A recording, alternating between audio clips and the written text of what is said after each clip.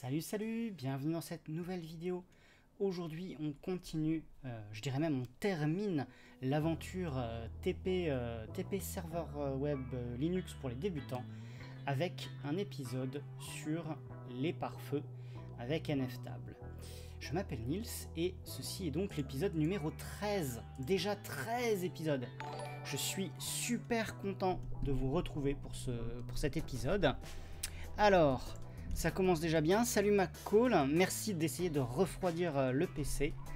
Euh, salut à toi Boubou du 40, Nicolas NHX aussi, salut. Salut Xavier qui, euh, sub pour un, sixième mois en tier 1. Merci énormément Xavier pour tes subs, tes six mois de sub, c'est juste génial. Merci mille fois encore bah, d'être présent au rendez-vous, souvent pour pas dire tout le temps. Euh, de continuer à me soutenir comme ça.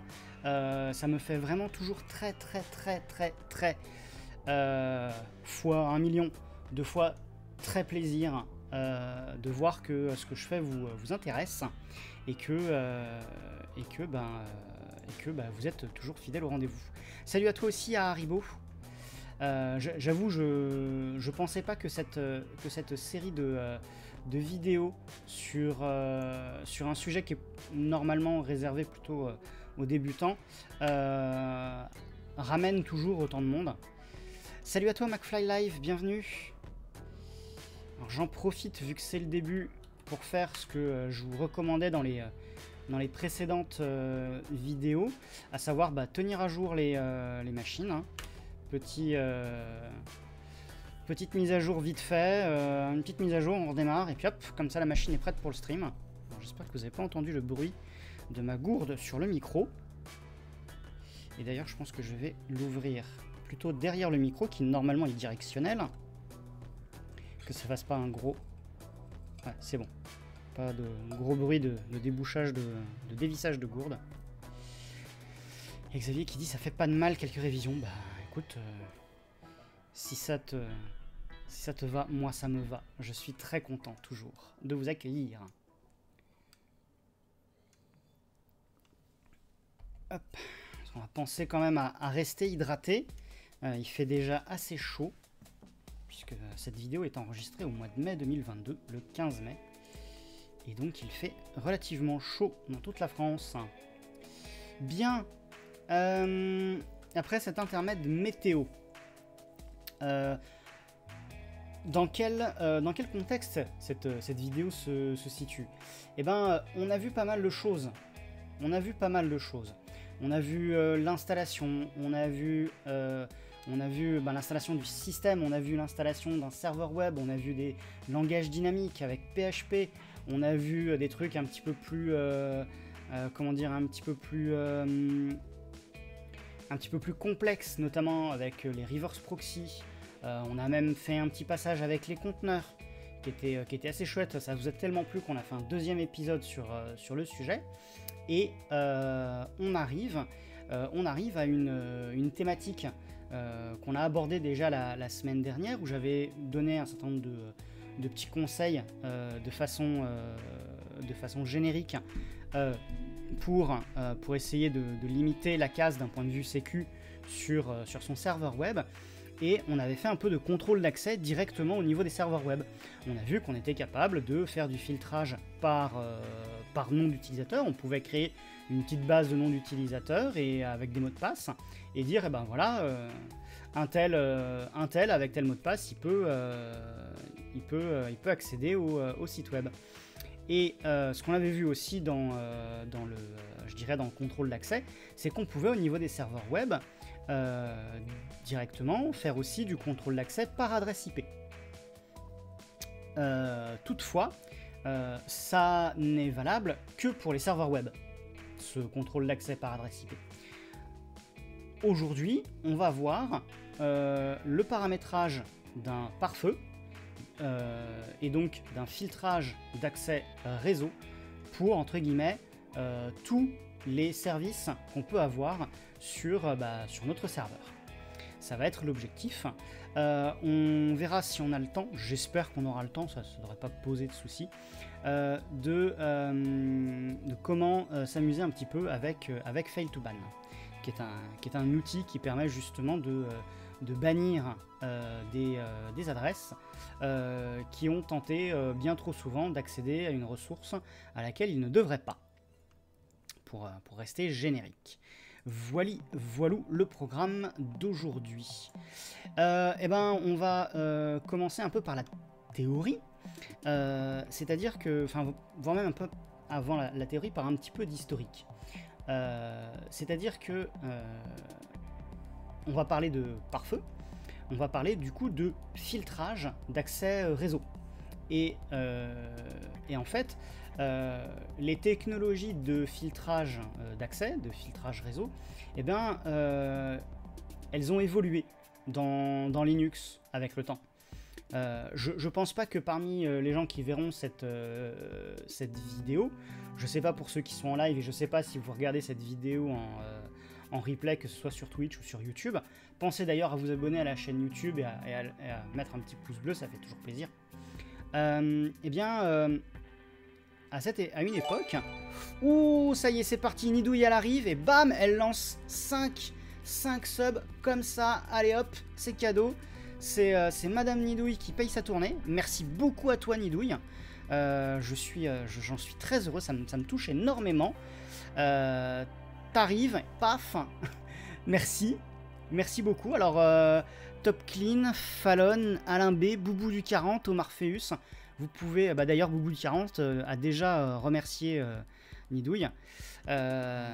c'est ta manière de dire bonjour, c'est ça? C'est très charmant, j'aime beaucoup. Ça me fait très plaisir. et où en était-je Ouais, les, briques de filtrage de paquets, de filtrage d'accès réseau dans Linux. il y a très longtemps, la, je crois, je sais pas si c'était exactement la première, mais euh, lorsque j'ai... Euh, mais c'est pas grave, tu peux me perturber comme ça autant que tu veux. Il n'y a pas de souci. Euh, c'est vraiment très gentil. D'ailleurs, encore merci. Donc les, briques de, filtrage, moi quand j'ai démarré, quand j'ai découvert Linux, la brique de filtrage se basait sur une commande qui s'appelait IP Chain. Alors je l'ai jamais vraiment utilisée, parce que euh, à l'époque où cette brique était euh, d'actualité, euh, moi, c'est à peine si je venais d'installer un, ordinateur de bureau sous Linux. À cette époque, l'accès Internet ne se faisait pas par ADSL. Le haut débit, ça n'existait pas. C'était du bon vieux modem 56K, donc avec la, liaison téléphonique qui était du coup occupée. Et, et ensuite est arrivé, si je ne dis pas de bêtises, le projet NetFilter. Alors euh, NetFilter, on n'en entend pas souvent parler. Euh, c'est un, euh, projet qui, date maintenant depuis, un petit bout de temps. Et en fait, ce, projet NetFilter vise à maintenir une, une, une brique de filtrage de paquets de qualité dans le noyau Linux. Et euh, cette brique de filtrage de paquets, eh ben, elle évolue avec le temps. Et euh, je crois que c'était au début des années 2000, euh, arrive, arrive justement ce projet NetFilter. mais vous connaissez sans doute plutôt la commande qui, qui est entre guillemets l'interface pour arriver dans cette brique de filtrage du, du noyau. Euh, qui, euh, qui s'appelle IP Tables. Ou IP Table si vous préférez, si vous, si vous voulez le prononcer en français. Euh, et donc, IP Tables a été du coup très très très utilisé. Et les développeurs du projet NetFilter se sont mis à dire bah ouais ok c'est cool mais on pourrait faire quand même quelques améliorations. Et donc ces gens-là se sont mis à travailler sur une nouvelle génération de, de commandes pour pouvoir s'interfacer avec euh, le noyau Linux sur la euh, sur la sur le filtrage de paquets. Et euh, ils sont venus avec une nouvelle idée. Et, cette nouvelle idée entre guillemets alors elle est plus si nouvelle que ça mais qu'on va qu'on va voir aujourd'hui puisqu'elle est basée sur du coup une, cette nouvelle génération de, de NetFilter qui s'appelle NFTables en fait Voilà, voilà. Et oui, effectivement, la pub, euh, la pub chez Emile. Euh, Emile, que je remercie encore énormément d'avoir fait de la pub hier pour, euh, pour mon stream d'aujourd'hui. Euh, je sais pas s'il est dans les parages, mais dans tous les cas, je l'en remercie. Merci beaucoup, Emile. Ça m'a fait très, très, très, très, très, très plaisir que tu, que tu me fasses de la pub. Et si jamais euh, vous êtes, euh, comment dire, vous ne connaissez pas euh, la chaîne de, de Emile, je vais vous la linker tout de suite. Si je remets la main dessus, ça devrait aller vite. Hop, voilà, c'est dans l'historique, nickel. Hop, je vais aller vous copier, coller ça dans le chat. Voilà. Et je vais aussi aller copier, coller ça dans, la, dans le chat des liens du live du serveur Discord. Serveur Discord que vous pouvez retrouver là-dessous. L'adresse est là-dessous. Il n'y a pas de souci. Vous pouvez, euh, vous pouvez même normalement cliquer euh, dans les liens. euh, en fait, dans, le, dans les liens de la description de vidéo, normalement sur les about, les trucs comme ça, il y a le lien vers le Discord. Voili, voilou. Donc cette, cette brique de filtrage, donc aujourd'hui on va utiliser NFTable, enfin NFTables. Et euh, ce qui se passe, c'est qu'aujourd'hui, enfin aujourd'hui, euh, c'est une tendance qui a eu lieu depuis quand même un petit bout de temps. Euh, cette brique sert généralement de, back-end à un certain nombre de, bah, logiciels de type front-end.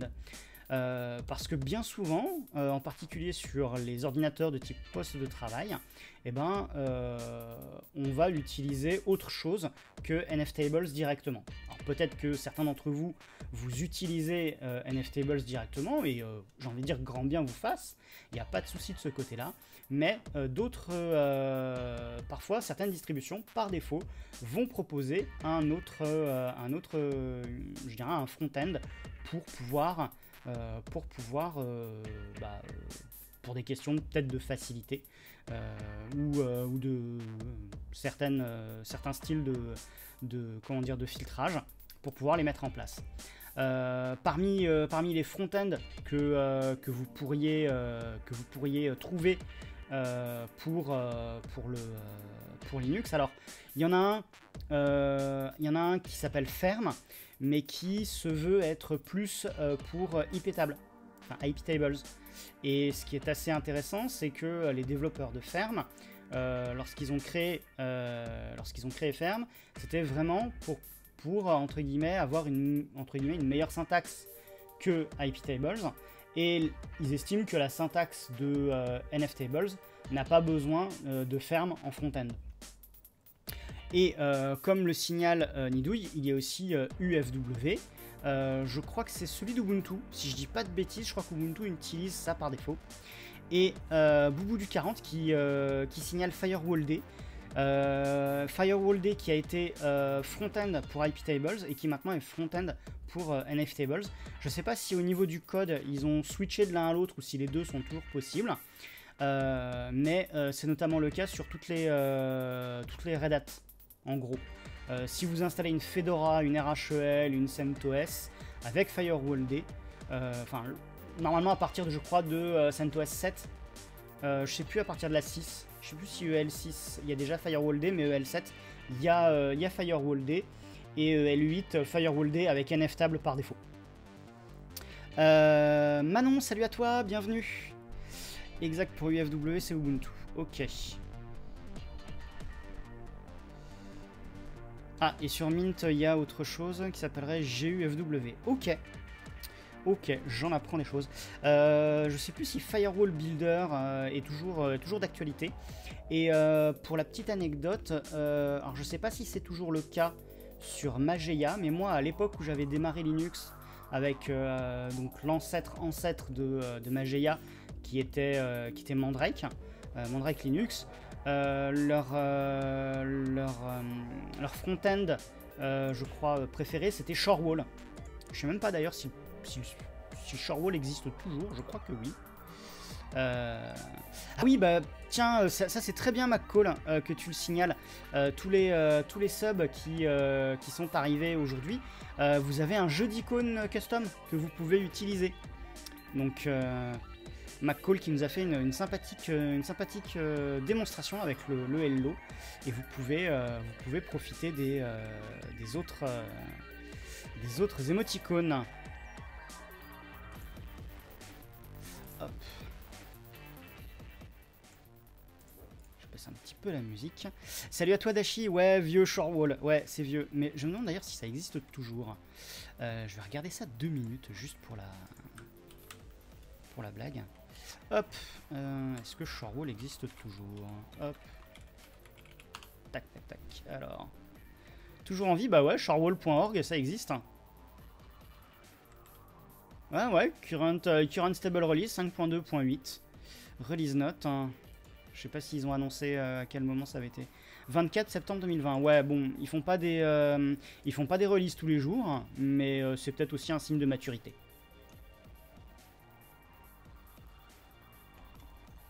Bien. Bien, bien, bien. je suspecte que pas mal de gens qui êtes, qui êtes actuellement en ligne en train de me en train de me regarder ont déjà quelques, euh, quelques bases sur, euh, sur les réseaux. Euh, je voudrais quand même essayer de faire quelques, quelques, petits, quelques petits rappels. Puisque ce, cette vidéo, cet ensemble même de vidéos, s'adresse à des débutants, à des gens qui n'ont pas forcément l'informatique comme, métier et qui veulent juste s'intéresser à ça. Manon qui n'a aucune base en réseau. Oh non, je pense que les bases dont je vais parler, tu les as. Euh, il se trouve que euh, on avait vu, je crois, euh, quand on avait vu dans, les, dans les premières vidéos, je vous avais parlé d'adressage IP.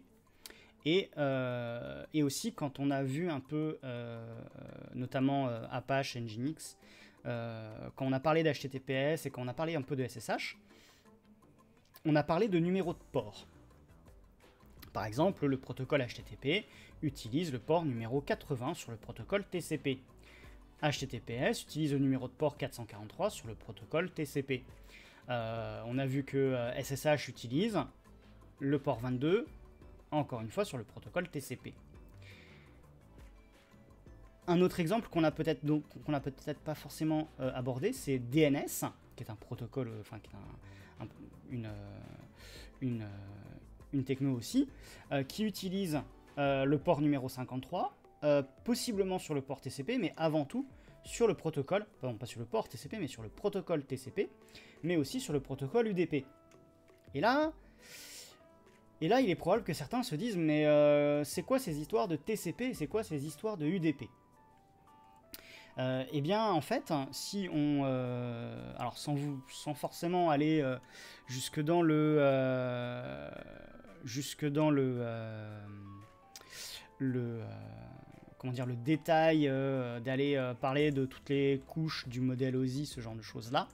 ce qu'il faut juste essayer de se, de se, souvenir, et je vais passer hop, sur, sur ça, c'est que en gros, on a, on a dans notre, sur notre alors, j'aime bien, j'aime bien cette, euh, cette manière de dire les choses, euh, TCP, téléphone et UDP, télégramme. Mais grosso modo, en fait, on peut, euh, on peut un peu imbriquer les, choses, où on va avoir dans, dans notre... Alors, est-ce que je peux faire un truc comme ça Texte, ouais, hop. Hop. Et ça, est-ce que je peux le grossir? Hop, texte. Allez. Si je le mets à 48. Ouais, c'est bien. Donc là, on va avoir notre, euh, notre réseau Ethernet. Et puis dans notre euh, réseau Ethernet, euh, on va avoir... hop, on va avoir... Hop, j'aimerais bien qu'il me fasse... Alors du coup, peut-être que... On va peut-être le mettre ici. On va faire... on va mettre IP. Et puis... Et puis dans notre IP, alors peut-être que je vais le mettre euh, autrement. Hop. Lui, il va aller comme ça, euh, plutôt, euh, plutôt en haut. Je sais plus c'est où le truc pour lui dire d'aller en haut. Bref, on va rajouter un truc. Et ici, dans une IP, on peut avoir plusieurs ports. Enfin, avant les ports, on va avoir un protocole.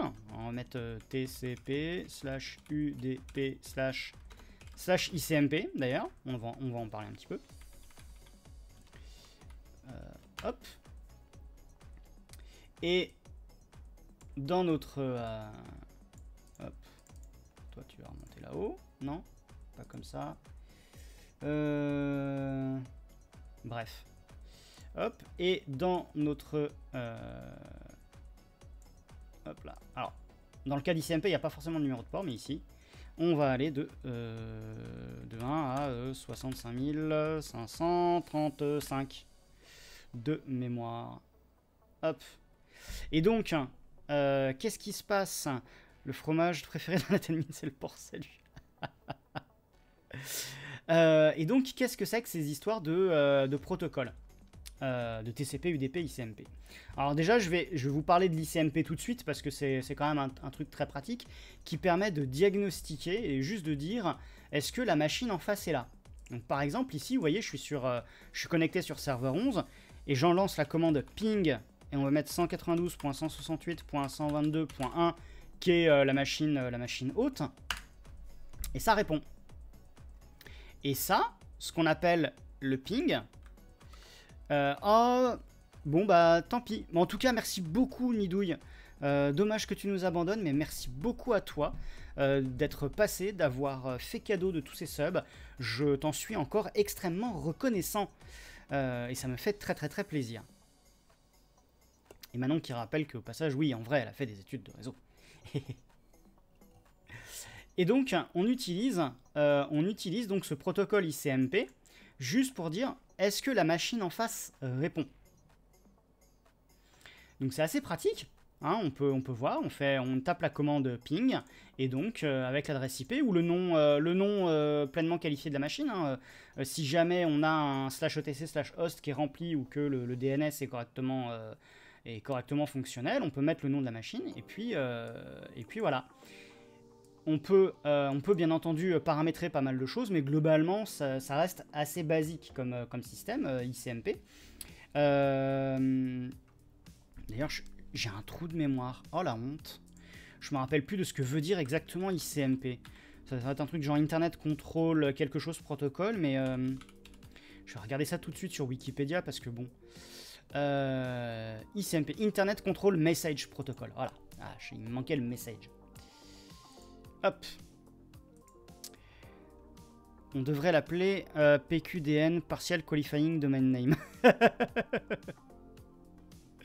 Oh, j'aime beaucoup ça, Haribo. I can't memorize protocols. C'est mignon.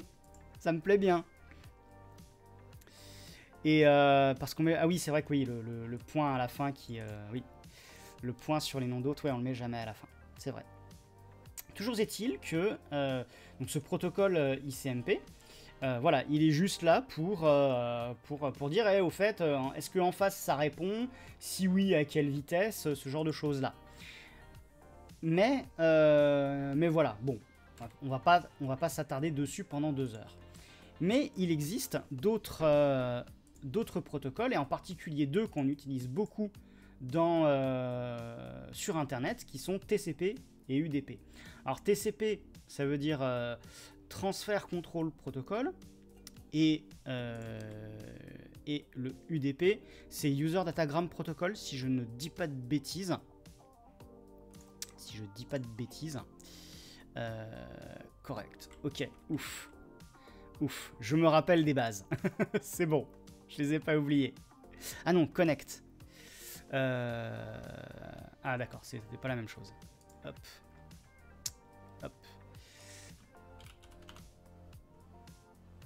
User Datagram Protocol. Ok, j'étais bon. Super. Euh, donc, ces deux protocoles, pourquoi est-ce qu'ils existent? Comment ça se fait? Ben, ces deux protocoles, l'idée c'est qu'en fait, euh, il y en a un qui est fait pour euh, avoir un, système de fiabilisation, alors que l'autre ne l'a pas.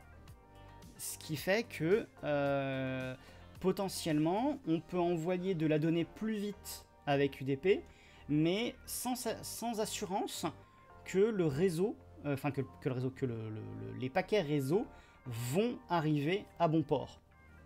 Jeu de mots non volontaire. Euh, généralement, on a... alors, je sais que j'avais vu à une époque un, GIF où, en gros, la différence entre TCP et UDP, c'est que pour TCP, eh bien,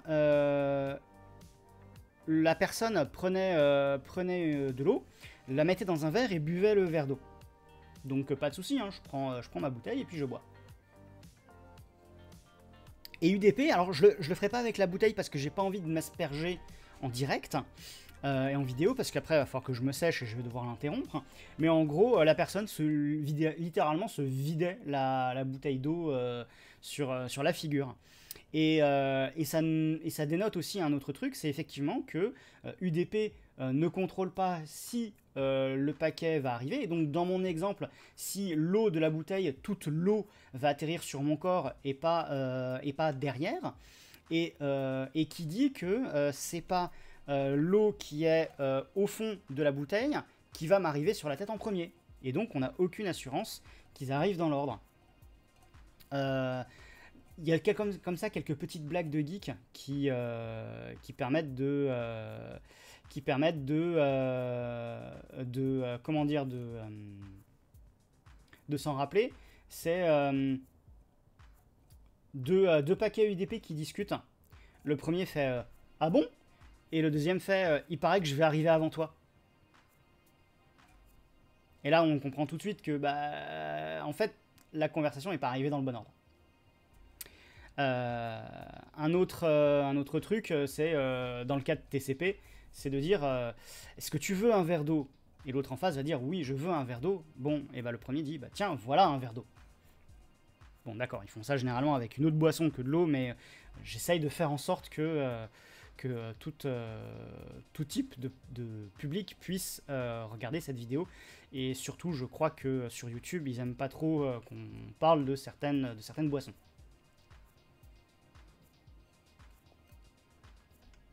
HTTP3 euh, sera de nouveaux protocoles. Alors HTTP3, je n'en ai pas la moindre idée, Manon.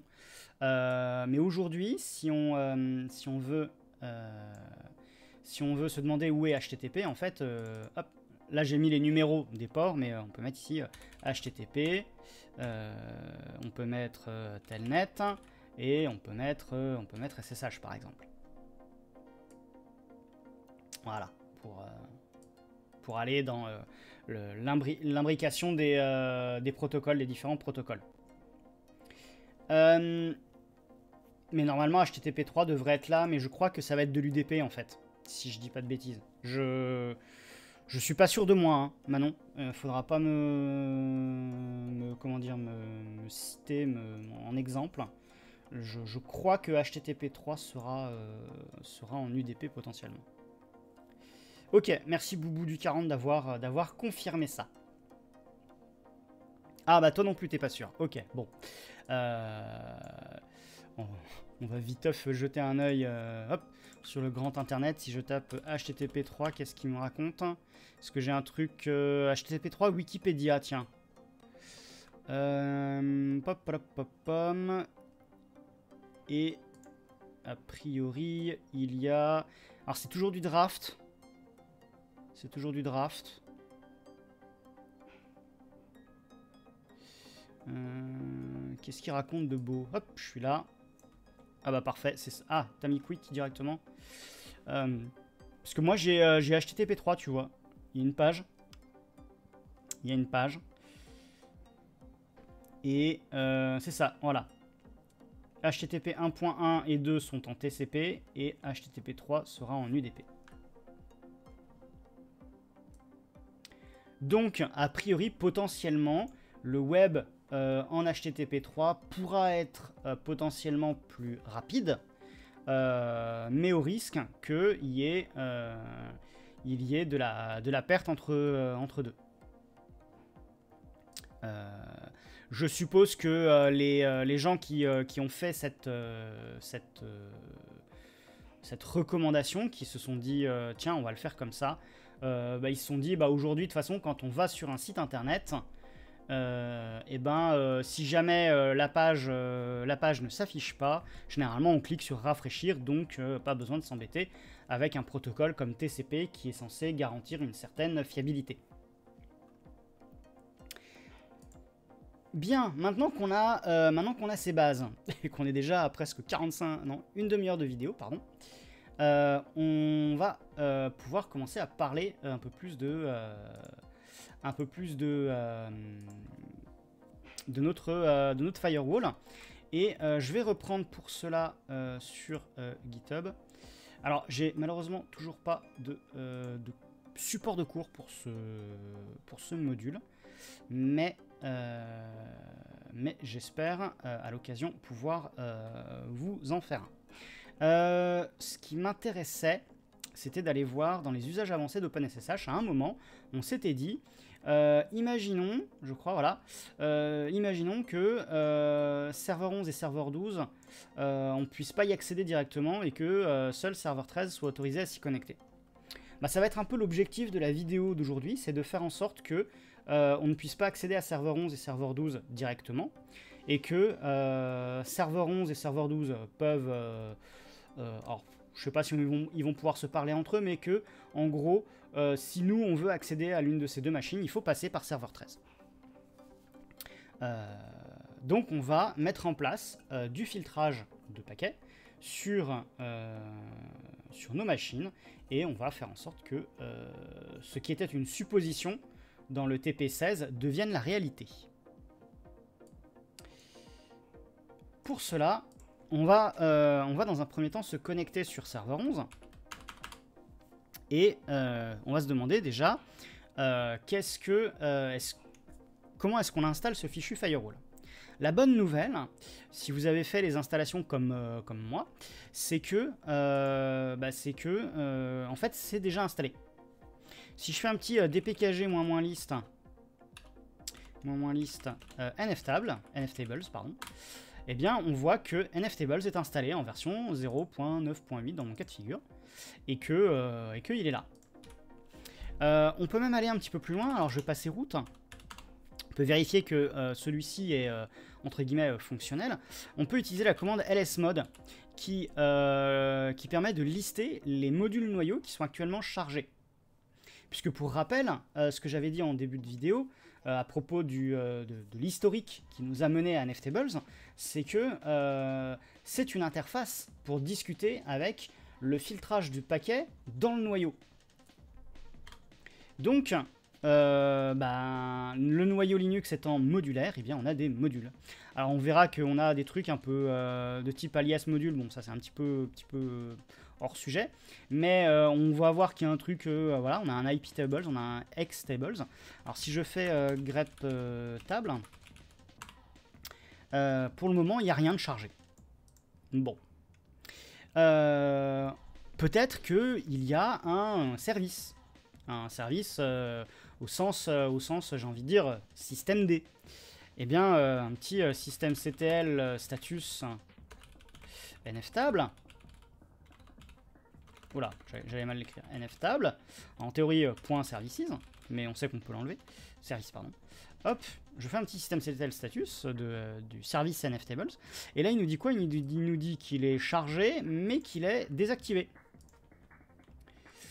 Euh, alors que pourtant, vendor preset enable. Je suppose que c'est parce que euh, le type d'installation que je vous ai fait faire dans, dans, les premiers, dans les premiers modules euh, en fait, euh, désactive le firewall. Alors, euh, ce qu'on peut faire, c'est bah, l'activer. Donc, systemctl enable nftables. Donc voilà, il est activé. On va refaire un status. Bon, ça change pas grand chose. Il dit juste que il, est, il est toujours chargé, il est activé, mais il n'est, enfin, il est toujours chargé, il est activé, mais il, enfin, activé, enfin, alors, la, traduction, c'est pas forcément évident, mais euh, il est euh, lorsqu'on dit active, inactive, c'est qu'en fait, il n'est actuellement pas démarré. Donc, il est configuré pour se démarrer maintenant au démarrage, mais il n'est actuellement pas démarré. Et euh, si je fais un petit, un petit système CTL start de notre nftables, Bon, a priori, je n'ai pas perdu euh, l'accès à la machine, donc c'est plutôt bon signe. Et euh, si jamais je tente d'aller sur euh, serveur11.example.com, jusque là, bon, bah, on a toujours notre petit blog PluxML qu'on avait installé avant. Jusque-là, tout va bien. Ouf. Maintenant, ce qu'on peut faire, c'est qu'on peut peut-être aller regarder s'il y a des règles qui sont configurées. Et euh, pour aller regarder si des règles sont configurées, on va utiliser la commande NFT, euh, tout comme suggéré par euh, système-ctl, en disant au fait, tu as de la documentation en allant regarder la page de manuel man NFT. hop, man NFT. Alors, on a pas mal de choses. Il y a du moins help, il y a du moins... ok, jusque-là, tout va bien. Et, et ce qu'on va faire, c'est que on va... hop, peut voir pas mal de choses. Alors, je ne vais pas vous montrer toute la, toute la page de manuel, mais je peux faire un NFT euh, liste. Donc, il me dit new line, ouais, liste. Euh, non, attends, c'était quoi? Euh, je, vais regarder mon anti-sèche deux minutes. Je sais que c'est pas très correct, mais hop. là, voilà. Et donc, NFT liste rule set. J'étais presque. Hop. Voilà. Et là, le truc, globalement, qu'est-ce qu'il dit? Il dit c'est open bar. Oui, je sais, on n'est pas mercredi, on n'est pas chez Emile, mais le firewall, là, il dit c'est open bar. C'est plutôt chouette. Si on regarde un petit peu les... Euh, merci McCall. Alors, McCall, je, suis presque... Euh, je, suis... Euh, comment dire Je me disais, est-ce que quelqu'un va me sortir la blague? Donc, merci McCall de l'avoir sorti. Euh, non, on ne fait pas de crypto et euh, c'est d'ailleurs pour ça que j'ai pas écrit euh, NFT ou NFTables dans, dans le. Ah si j'ai écrit NFTables mais j'ai pas écrit NFT dans, le, dans, le, dans la description du, du stream. Mais, mais non, on fait pas. On fait pas non, non, c'est. si quelqu'un pense ici qu'on est en train d'essayer de, devenir riche avec les NFT, vous n'êtes pas au bon endroit. Hein. Pouf, la moitié des gens qui se déconnectent du stream Non, non, c'est bon. Bon, toujours est-il que voilà, on a, euh, et c'est assez marrant, on a des chaînes, donc euh, une input, une forward, une output, et euh, on peut voir qu'il y a écrit policier accepte. Donc sans forcément connaître la syntaxe par cœur, on peut d'ores et déjà se dire que bah a priori, il y a une histoire de politique par défaut qui ici est à accept et que on a euh, trois, euh, trois types de euh, entre guillemets de trafic. On a le trafic entrant, on a le trafic sortant et on a un troisième qui est forward qui en fait est celui qui rentre d'un côté pour sortir par l'autre. ce truc forward, on va pas le voir beaucoup plus, on va pas s'en préoccuper beaucoup plus. Pour une raison très simple. C'est qu'ici, le type de firewall qu'on va faire, c'est euh, du firewall pour une machine. Enfin, il y a trois machines, mais on va faire un firewall sur chaque machine. Et ce firewall, il n'a pas pour but euh, de transformer votre machine en routeur. C'est juste pour protéger la machine elle-même. Euh, si on veut faire, entre guillemets, euh, un truc qui ressemble genre bah, à votre box chez vous pour accéder à Internet, effectivement, on devrait utiliser la chaîne forward en plus des inputs et des outputs, mais euh, cela n'est pas le, euh, cas aujourd'hui. éventuellement, le forward, ça peut vous arriver de vous en servir sur une machine, une machine bureautique, tout simplement pour la virtualisation. donc là, serveur 11, il est, c'est une machine virtuelle, voilà, j'ai mes trois VM qui sont donc sur cette machine Ubuntu. Et en fait, euh, euh, LibVirt a dynamiquement créé des règles de filtrage pour pouvoir faire en sorte que euh, Server 11 puisse accéder à Internet. Et donc, ce faisant, il a modifié la, chaîne, forward sous le capot. Salut à toi Rancune, bienvenue, bienvenue. En plus c'est ton ah c'est ta première fois sur le sur, euh, sur mes vidéos, bah bienvenue encore une fois Rancune, merci beaucoup de, euh, de passer de passer me voir, c'est très gentil à toi. Euh, qui dit mensonge, on parle de blockchain. Pas mal. Euh, et maintenant qui disait quoi sinon il y a tous les gogos qui veulent faire de la spécule qui se pointent. En plus, d'après ce que j'ai compris, c'est euh, en train de se casser la figure en ce moment. Hein.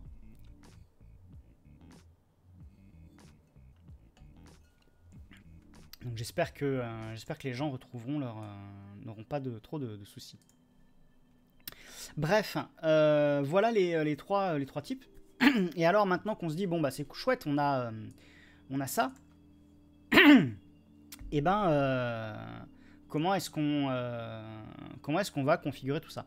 Alors un truc qui est intéressant à savoir, parce que euh, ce qui est marrant, c'est qu'à l'époque d'IP Tables, euh, les gens avaient tendance à créer des scripts de firewall en allant euh, taper des commandes dans leur script, dans un, genre de script shell, en faisant directement la commande IP Tables, machin, machin. Et j'ai vu la même chose pour NFTable avec des commandes, des suites de commandes NFT, quelque chose, quelque chose.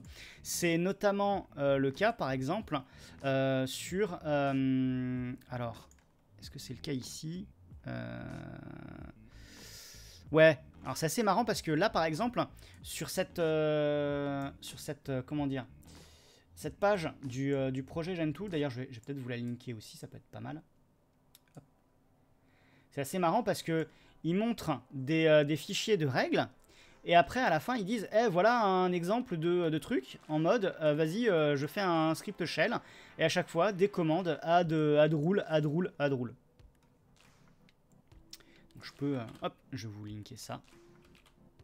Alors, Manon, ipétable, euh, j'ai envie de dire, euh, oui, c'est has-been, mais c'est encore disponible. C'est encore disponible.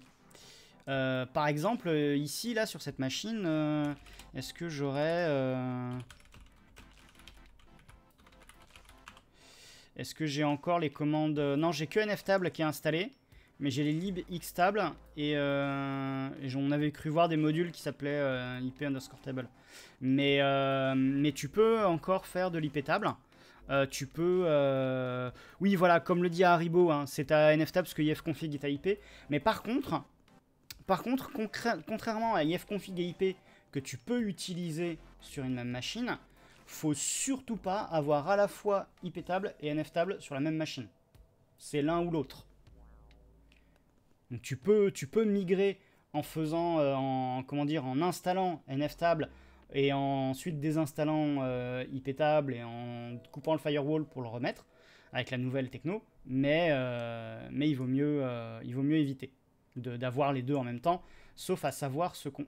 Tiens, j'ai paumé l'accès à ma Ubuntu. Qu'est-ce qui se passe là? Génial, les aléas du direct. Hein. Est-ce que, la machine aurait, aurait décidé de... Alors normalement, si jamais c'est la température, la machine aurait dû se mettre à biper euh, comme pas possible, et j'aurais dû l'entendre. Ce que je suspecte... Alors non, je pense pas que ma machine ait fait, euh, ait fait un drop all. Je pense surtout euh, que euh, le câble réseau a dû se, déconnecter. Parce que j'ai un câble réseau avec le petit, euh, vous savez, la petite languette qui est, qui est un peu naze. Donc ce que je vais faire, c'est que je vais vous... je vais devoir, si je puis me permettre la blague, passer sous le bureau.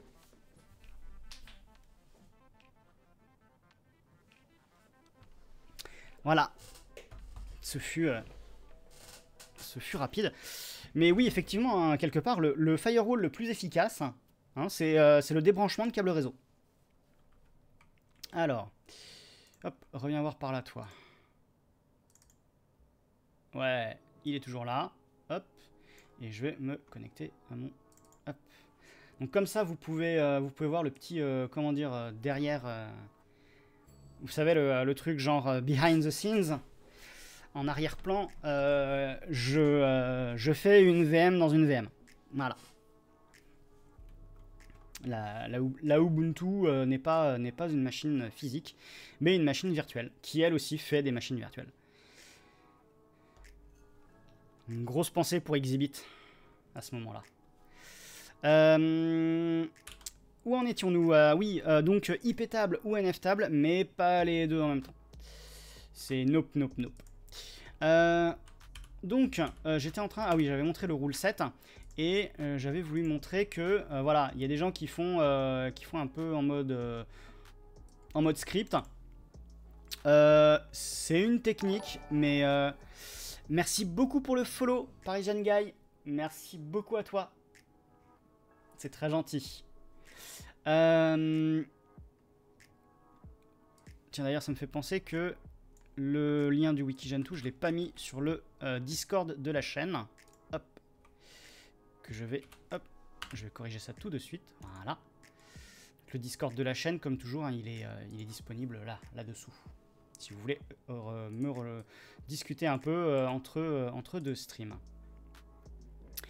Et ouais, on peut dire Inception de VM, Nicolas, tout à fait. Euh, perso, euh, même si c'est... Euh, merci pour le follow, Vince. Merci beaucoup à toi. C'est très gentil. un truc qui est pas mal, c'est de savoir que en fait, les règles sont potentiellement sauvegardées dans un fichier. Et c'était déjà valable pour, pour IP Tables. Hein. NF Tables le fait, le fait, le fait aussi. Et sous Debian, en fait, il suffit d'aller lire le fichier euh, nftables.conf. Et là, on peut voir que, euh, voilà, globalement, euh, c'est encore plus, encore plus, comment dire, basique que ce qu'on avait vu en utilisant la commande nft list rule set. On peut voir qu'on a, on, a une sorte de shebang. On a une sorte de shebang. D'ailleurs, on peut peut-être aller faire un petit man nft. Et regardez à quoi sert le moins F. Et le moins F, alors c'est assez marrant parce que là il dit NFT-F ici. Et en fait, NFT-F, là c'est pour dire file name. Donc je pense qu'en gros là il prend euh, l'entrée standard. Ah bah tiens, NF stands for netfilter. Je me posais la question. Euh, voilà, moins F, read input from file. If file name is dash, read from stdin. Ok et on a en plus un interactif. Donc si je reviens sur ce fichier, on a une première commande, flush rule set. Comme son nom l'indique, euh, ben, le but c'est de, euh, de, vider en fait notre, euh, notre rule set, donc notre ensemble de règles. Et là ensuite on a une seule, règle qui est de type une table de type init et qui est dans un truc de type filter. Alors il existe euh, d'autres trucs, mais on va rester assez basique et on va juste s'occuper du filter. Vous allez voir euh, tout à l'heure, euh, on, va même rajouter des... Il y a même des choses qui vont se rajouter. Et donc, un truc relativement simple à faire. alors le, oui, j'avais oublié. Le inet, c'est parce que c'est IPv4, je crois. On peut mettre IP ou, IP6 si on veut. Et donc là, pour le moment, bah, c'est un peu open bar alors ce qui est assez chouette, c'est que même dans Debian, on a un petit peu de, euh, configuration. Enfin pas de configuration, mais on a un petit peu d'exemple qui, peut, euh, qui peut être utile. Et pour cela, je vais aller dans euh, slash usr share doc nftables. Et il y a des exemples. Voilà. Et on a un exemple qui s'appelle workstation.nft qu'on va, lire vite fait. Alors vous voyez comme d'habitude, hein, euh, il, vide les règles. Alors pourquoi il le fait? C'est que si vous appliquez un fichier puis un autre, ben ça permet de, euh, repartir à zéro depuis une base, euh, une base propre en fait. et donc, on peut voir ici une table inetFilter avec une chaîne input. On avait parlé tout à l'heure de input, output, forward. Donc là, on n'a que un input. Ce qui veut dire qu'en fait, forward et output, par défaut, sont en acceptation. Vu qu'ils ne sont pas... Euh. Euh, indiqués. Euh, et en fait, ce truc a l'air assez intéressant parce que bah, déjà, bon, on a des histoires de priorité, ça je vous en parlerai pas trop. On a une petite condition, si jamais c'est l'interface de, euh, loopback, on accepte. Donc euh, si je refais un IP ADDR show, c'est voilà, c'est ça la loopback, hein. c'est cette interface en 127.0.0.1. Et, euh, et, ensuite, on a, si jamais le, trafic est de type déjà établi ou déjà, ou déjà relié au trafic qu'on voit passer dans le filtre, eh ben, on l'autorise. Donc ça, c'est ce qu'on appelle du firewall euh, stateful, donc du firewall euh, à état euh, qui, gère l'état des connexions. Au contraire du, de firewall de type stateless, donc on ne gère pas l'état des connexions.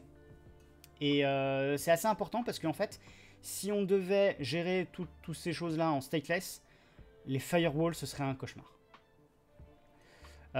Donc, alors, ça a, des, euh, ça a des conséquences, c'est-à-dire que le firewall doit garder en mémoire l'état de toutes les connexions. C'est potentiellement assez, assez comment dire, gourmand en ressources, mais aujourd'hui c'est comme ça qu'on fonctionne pour avoir des, des j'ai envie de dire des listes de règles qui sont, qui sont lisibles. Euh, McFly qui a été déco, il a raté le site de Rancune. Ah oui, bah c'est rancune.org, tout simplement. C'est rancune.org. Euh, je sais pas si, euh, si quelqu'un a linké une page en particulier. Ah Ah oui, Nicolas qui avait mis racune.org par contre, avec une typo. Mais, mais ma call s'est chargé de le refaire. Ok. Parfait. D'ailleurs, j'en profite, ouais, rancune.org, excellent, excellent site, excellent blog je vous le recommande. Euh, ce qu'on va faire là de cet exemple, c'est qu'on va, euh, on va, on va s'en servir. On va s'en servir. Alors, on va faire un petit cp-vp du euh, workstation.nft et on va aller le mettre dans slash root et on va l'appeler on va l'appeler serveur on va peut-être faire on nf table underscore server 11.conf Hop. Et on va, euh, on va éditer, euh, on va éditer notre euh, fichier parce que en fait on va l'appliquer. On va l'appliquer et pour l'appliquer c'est très simple. Hein. On va aller juste ouvrir ici. Ça c'est ah, voilà. mémoire musculaire puisque Nano, ça a vraiment, vraiment, vraiment beaucoup évolué et en bien. Hein. Un nano qui me fait tout de suite de la coloration syntaxique sur, sur un fichier NFTable. Ah, ça c'est chouette. Ça c'est chouette. Euh, et donc, euh, pourquoi est-ce que je décommentais ce truc? C'est parce que en fait, eh ben là, euh, ce que dit cette ligne-là, c'est qu'on va autoriser, et c'est pour ça que je vous ai parlé de TCP tout à l'heure et de TCP UDP, on va autoriser en TCP sur le port de destination 22, donc le SSH, 80 le HTTP et 443 l'HTTPS, les nouvelles connexions. C'était donc connection type, l'état, new et on accepte. Donc c'est relativement simple, hein, c'est euh, voilà, protocole, euh, source, destination, numéro de port, euh, l'état de la connexion, est-ce qu'on accepte ou est-ce qu'on refuse. Donc c'est relativement simple. et ensuite, alors là on a un truc en IPv6. Alors ce que je vais faire, c'est que cette partie-là qui est en IPv6, on va, on, va juste, on va juste la mettre en commentaire. Puisque ici on n'est pas sur un réseau en IPv6. Et là, ce qui est assez sympa, c'est qu'il dit euh, je compte et je drop euh, tout le reste du trafic. Ça va me permettre de vous parler d'un petit truc. Les différences entre euh, différentes, différentes actions qui sont possibles sur le, firewall, qui sont généralement accept, ça on l'a vu, c'est relativement simple, on accepte le trafic. Drop, ça veut dire quoi? Bah, Ça veut dire qu'on laisse tomber le trafic. J'ai envie de dire, littéralement, hein, c'est comme euh, drop the mic, hein, pouf. Qu'est-ce que qu'est-ce que ça veut dire exactement drop? Ça veut dire euh, ça veut dire exactement on n'en fait rien. C'est euh, direction slash dev slash nul, si je puis me permettre. Et ce que ça implique aussi, c'est pas de message en face pour dire ben mec, ton paquet, je l'ai mis aux oubliettes. À la différence d'une autre action qui est reject. Où là, par contre, Là, par contre, quand on a un reject, on va dire, au fait, euh, ton paquet, je l'ai, euh, j'en ai pas voulu. C'est, euh, si vous préférez, on pourrait, on pourrait dire, c'est un peu comme quand on poste une lettre et que il y a trois possibilités. La première possibilité, c'est que la lettre arrive à son destinataire parce qu'il l'a accepté. La lettre n'arrive pas à son destinataire pour une raison euh, connue, mais la poste a vraiment essayé de faire tout son possible, et elle vous renvoie l'adresse avec par exemple hein, euh, n'habite pas à l'adresse indiquée. vous avez reçu, vous avez votre, lettre qui vous est revenue avec un joli NPAI dessus. Là, vous savez que ça n'a pas, voire même dans certains cas de figure, euh, courrier refusé. donc ça a été, le paquet a été refusé. Et par contre, bah, si votre lettre s'est perdue, bah, Bah, vous savez pas. Vous avez aucune idée d'où elle est. La poste probablement ne sait pas plus si le courrier s'est perdu et votre, euh, destinataire n'a pas reçu le euh, n'a pas reçu la lettre. Potentiellement parce qu'il l'a droppé aussi. Il l'a il l'a peut-être d'ailleurs reçu et il l'a peut-être jeté à la poubelle et il s'est dit m'en fiche. Voilà voilou un peu pour ces types de réponses. Et, euh, et donc, jusque-là, on a a priori notre base de firewall. Donc, on va enregistrer. Voilà, on quitte. Et euh, ce qu'on va faire, c'est qu'on va euh, rapidement, on va se dire, mais attends, notre firewall, alors ce qu'on pourrait faire là, notre, firewall qui est activé d'ailleurs, systemctl status nftable, je refais le petit, le petit truc là, il est actif. On pourrait dire, bah il y a juste à aller copier notre fichier là, notre fichier nftable, on pourrait, euh, on pourrait le copier directement euh, dans, euh, à la place du, du ETC, ETC nftables.conf et redémarrer le truc. On peut. Ce qu'on peut aussi faire, c'est utiliser la commande nft. et cette commande nft, et on, peut faire un nft-f, point slash, bah, ce fichier-là, puisqu'il est dans le... Hop, il est là. Voilà. Et ensuite, je peux faire un nft list rule 7. Et là, on peut voir que euh, mes règles ont changé. Si je remonte un peu plus haut, donc ça c'était... Euh, non, ça c'était un 4. Si je remonte dans mon historique, voilà. Ça c'était avant. Ça c'était open bar. Maintenant, maintenant c'est plus open bar. C'est... On a... Euh, on, a on a des choses qui sont ouvertes, mais pour tout le reste, pour tout le reste, on a fermé la porte. Et par exemple, si je vais sur euh, euh, un autre terminal et que je tente de faire un telnet vers euh, serveur 11. Donc 192.168.122.11. Donc bien entendu, je n'ai pas de serveur telnet qui écoute sur le port 23 TCP sur mon serveur. Mais ce qui est amusant, c'est que si je relance un NFT list rule 7, vous pouvez voir ici que il y a écrit 4 bytes 240 drop. Et donc, comme l'indique le commentaire dans le fichier de conf, nftable, il a compté les paquets qui ont été droppés. Donc il drop les paquets et il les compte. Donc si jamais vous avez euh, ce genre de choses là qui vient euh, s'incrémenter rapidement, vous pouvez vous dire qu'il y a quelqu'un qui tente de, euh, se, connecter à des ports qui sont, refusés. Alors jusque là, tout va bien. un autre truc aussi, c'est que là, on vient de rajouter notre firewall, mais on a une question de sauvegarde de l'état des connexions. Euh, donc euh, c'est cool, là je suis toujours connecté sur serveur 11, mais est-ce que je pourrais à nouveau m'y connecter? Eh bien oui, ça fonctionne. Euh, ça fonctionne, mais est-ce que j'aurais pas laissé... Si j'ai laissé... Non. J'ai ouais, j'ai enlevé les proxy jump, j'ai juste laissé les local forward. Je vais enlever les, histoires de, de forward. Hop. Histoire d'éviter les ennuis. Voilà. Donc, je recommence, voilà, tout va bien. Et si par contre, cette fois-ci maintenant, j'indique sur, euh, sur ma machine, on va faire un petit euh, nano nftable, voilà. Euh,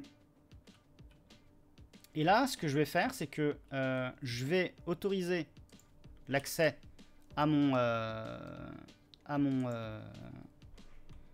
à mon firewall enfin pas mon firewall, on va autoriser l'accès au serveur, ok? Mais ce qu'on va dire, euh, c'est qu'on va lui dire, on va faire un petit filtrage par adresse IP. Et on va lui dire IP source ADDR, et on va lui dire seulement 192.168.122.13. J'écris mon fichier, j'exit. Et là, cette fois-ci, on va refaire un ajout dans le fichier. Donc là, normalement, si je relance mon petit NFT list rule 7, il a pris en compte.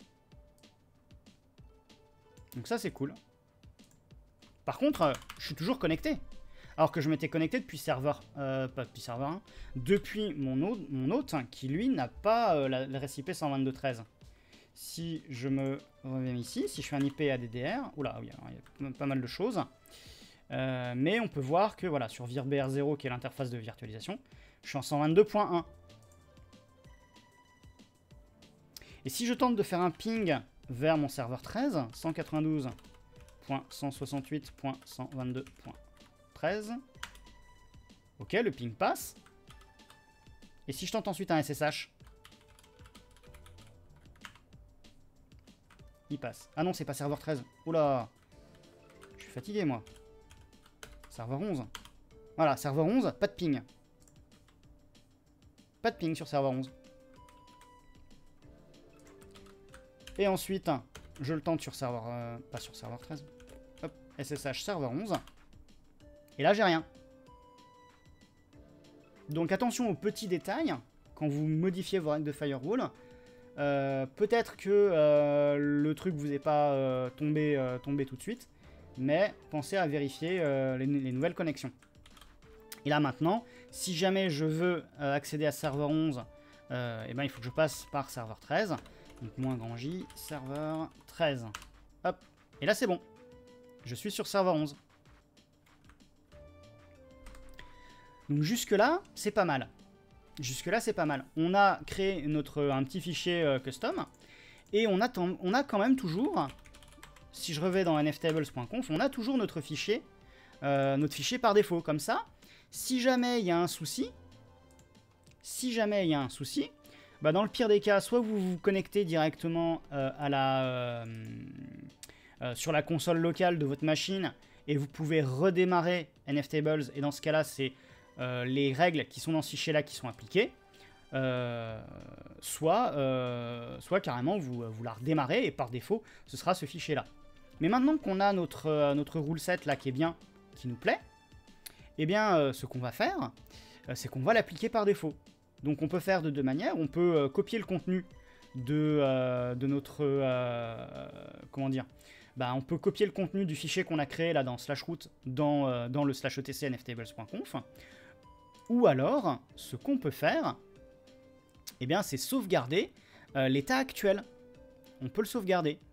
et on doit pouvoir faire, on doit pouvoir faire un save quelque part normalement. Si je fais un man un man NFT. Euh. On doit avoir un save quelque part. Alors, le list rule set, ok. Donc a priori, on peut utiliser le rule set pour ensuite en envoyer dans, euh, euh, euh, dans notre fichier de conf. Parce qu'après les, les saves, ça c'est des trucs spéciaux. Voilà. Donc moi, ce que je vais faire, c'est donc l'avantage en fait de faire ça plutôt que, le, fichier de conf, c'est qu'en fait, vous allez avoir le, counter packet qui est, indiqué.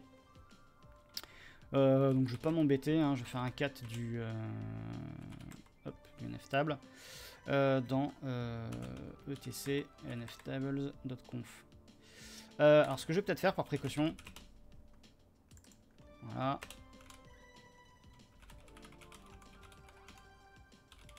On sait jamais.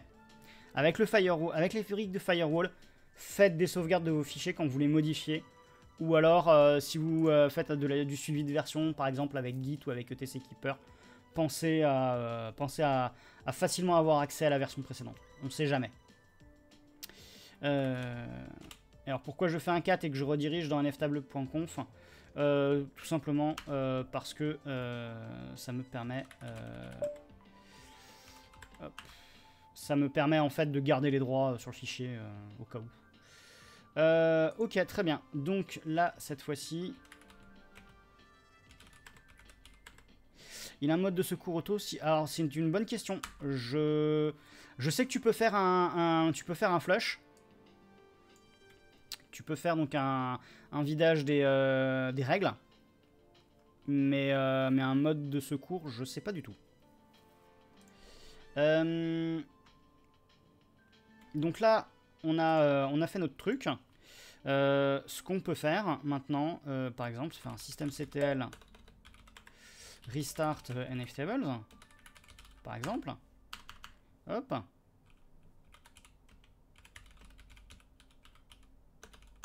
Donc là, tout va bien, pareil.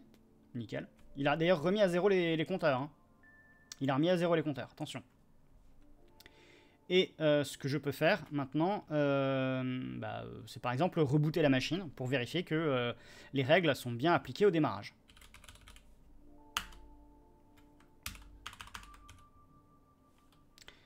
Alors du coup, là, je suis sur mon, ma machine de, je suis sur la machine qui n'a pas accès. hop, on va aller regarder. Non, c'était pas serveur 13, serveur 11. Hop, voilà. Il est en train de démarrer. Et il a fini de démarrer. Donc là, maintenant, si je retente, j'ai rien du tout. Et si je retente cette fois-ci en passant par serveur 13, cette fois-ci, on est bon. Donc ce qu'on peut peut-être faire d'ailleurs au passage, c'est faire un anneau de .ssh config et dire cette fois-ci, bah, pour passer sur, euh, serveur 13, et il enfin pour, aller sur serveur 12, il faut proxy jump. Oh, les, réflexes de Vim, je vous jure. Hop. Voilà. Et donc, je peux maintenant faire directement SSH serveur 11. Et je suis passé sur serveur 11. Ça, c'est plutôt cool. Ce qu'on peut faire maintenant, c'est qu'on va aller faire exactement la même chose sur serveur 12. Vite fait.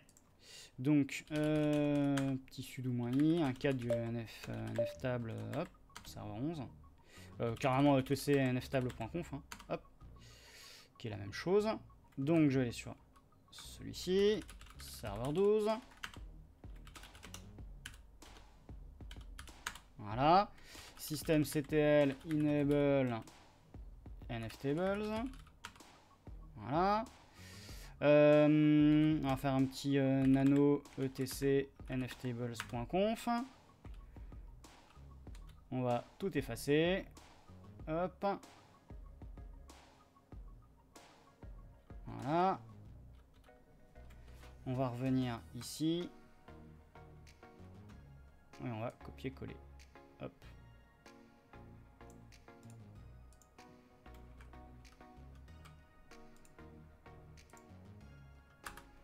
Voilà, hop, ça c'est cool. On a bien l'autorisation du trafic uniquement depuis serveur 13. Ça c'est cool, on quitte et on reboot. Et là, on va devoir faire la même, hop là, c'est-à-dire nano dans mon .ssh config, et on va devoir, hop, autoriser serveur 12. Donc, voilà, on va au passage regarder si serveur 12 a fini de redémarrer. Il a fini de redémarrer. donc maintenant avec... Euh, alors là j'étais quoi? Serveur 11. Donc là si je remets... Voilà. Là je suis sur serveur 11. Hop.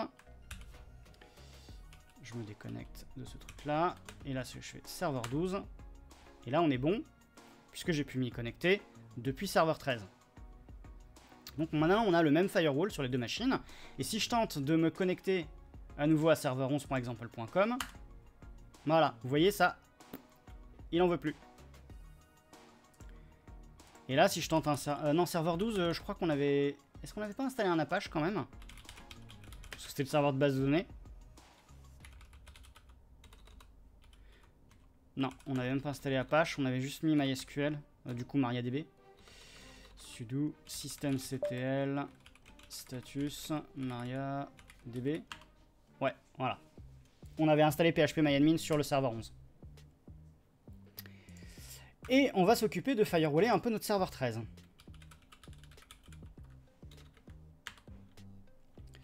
Parce que là, notre serveur 13, bah, c'est lui qui fait, entre guillemets, euh, ce qu'on pourrait appeler le bastion de notre, euh, de notre, euh, de notre, bah, de notre environnement de trois machines. Euh, ce qu'on va commencer par faire, c'est qu'on va aller, euh, comme l'autre fois, récupérer user share doc euh, nftables, le workstation, non, example, le workstation, voilà.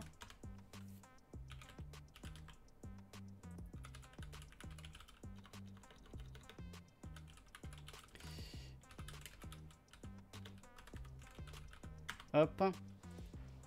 Et puis, euh, on va l'éditer. Euh, euh, avant de l'éditer, il faut déjà penser à faire un petit système CTL enable de NF tables. Et un petit start. Je crois qu'il y a moyen de faire un, start et un, enable dans la même commande avec système, système CTL. mais je ne sais plus exactement. Euh, hop là. Et donc, là, ce qui va nous intéresser maintenant, cette fois-ci, c'est effectivement euh, d'ouvrir ça pour tout le monde. Enable moins moins no. Bah, merci beaucoup, Ougrognos et Boubou du 40. Je vais essayer de m'en souvenir. Donc, système D, euh, enfin, système CTL, enable moins moins now. un truc qui est intéressant, c'est que On n'a pas, on pas Docker Si, on a, on a Docker. On a Docker là-dessus. Et ça marche aussi pour Disable. Ah, bon à savoir ça. Merci beaucoup pour le détail, euh, Ougournios. Alors, système CTL status euh, Docker. Est-ce que... Ouais. Donc là, j'ai Docker dessus.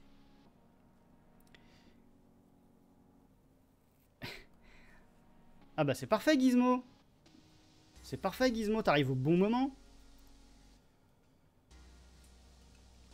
Alors, Krotsek, j'ai pas voulu en parler. Euh, pour, euh, pour, une raison, euh, pour une raison très simple, c'est que pour l'instant, j'ai pas encore essayé. J'ai pas encore essayé. Et j'ai l'impression qu'aujourd'hui, l'intérêt de CrowdSec, c'est surtout d'être installé sur des machines qui sont directement accessibles sur Internet.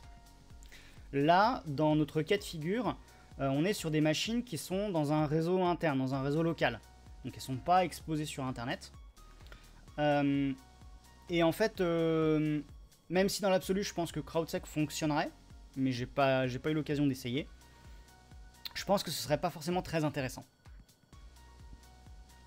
Euh, c'est dans une, dans une certaine mesure un peu la même problématique que j'avais avec HTTPS euh, pour, pour euh, Let's Encrypt. J'aurais aimé montrer du Let's Encrypt, mais ça aurait voulu dire euh, trouver un moyen pour que tout un chacun qui regarde cette vidéo puisse, puisse avoir ce même moyen. sans, sans, forcément, sans forcément bourse déliée. Et c'est pas évident. donc là, ce qui va être intéressant dans notre histoire de firewalling, c'est euh, c'est Docker. Parce que si je fais un petit euh, nft list rule 7, hop, donc pour l'instant il n'y a rien. On va rebooter la machine. Euh, juste au cas où, ouais, le nftables, je l'ai pas retouché. On va rebooter. Et on va faire un petit ping. Hop. Normalement, il devrait rebooter assez vite.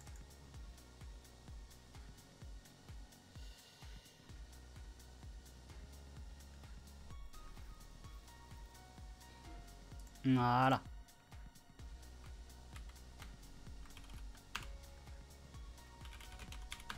Et là, ce qui est amusant, c'est que si je fais un petit NFT euh, list euh, rule set, et là, on voit, il y a plein de trucs. Et là, on se dit, mais c'est quoi, quoi cette horreur? On a la table inetFilter, là, ça, c'est ce qu'on avait dans notre fichier de conf, on l'a vu, hein, avant le reboot. J'ai bien fait un 4 du etcnftable.conf, et là, on voit bien qu'il y avait, euh, voilà, c'était propre. Et là, qu'est-ce qu'on a? Ensuite, on a une table IP NAT avec une chain Docker, une chain post-routing, avec euh, encore une chain pré-routing, une chain output, enfin voilà, des, des euh, tiens, encore une autre, cette fois-ci une table IP filter. Enfin voilà, il y a plein de trucs. Et en fait, euh, c'est un peu ce que je voulais vous montrer, c'est que, attention, certains logiciels sont capables de modifier le firewall, j'ai envie de dire, dans votre dos. Donc attention.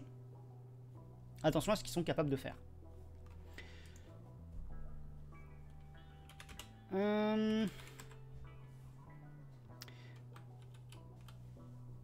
Euh, aussi, c'est celui-là. Nano, euh, NFTables, server 14. Donc là, on a notre fichier, ben, je vais l'appliquer et on va rebooter à nouveau et vous allez voir que euh, ce sera encore, euh, encore présent.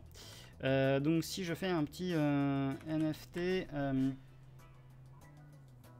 non, je vais faire un 4 en fait, du NFT, voilà, dans, dans le ETC nftables.conf. Hop. Et on reboot.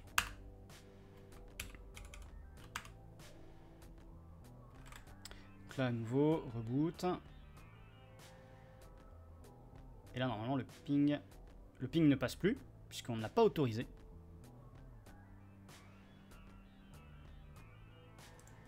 On n'a pas autorisé. Et on va peut-être vouloir l'autoriser d'ailleurs. Pourrait être une idée.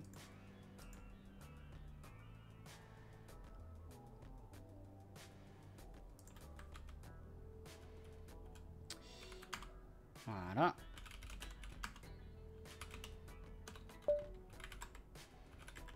Hop. Euh, oui, d'abord, je voudrais juste... Oui, alors, ok, voilà. Si je fais un petit NFT, list, list, rule 7. Voilà. Donc on a toujours nos histoires de Docker. Et normalement, un peu plus en haut, vous voyez, on a nos... Euh, histoires. Donc, si je vais ici et que je vais sur serveur 13, voilà, serveur 13, on l'a toujours. Donc notre filtre fonctionne. Euh, il nous a interdit euh, d'utiliser de, euh, de l'ICMP.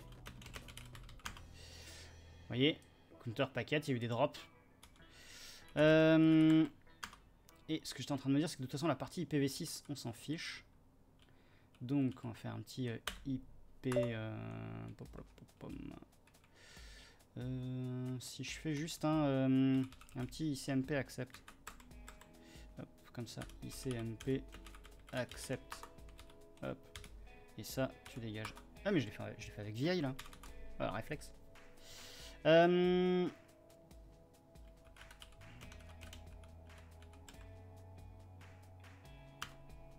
Ah, il en veut pas. C'est bien ce que je me disais.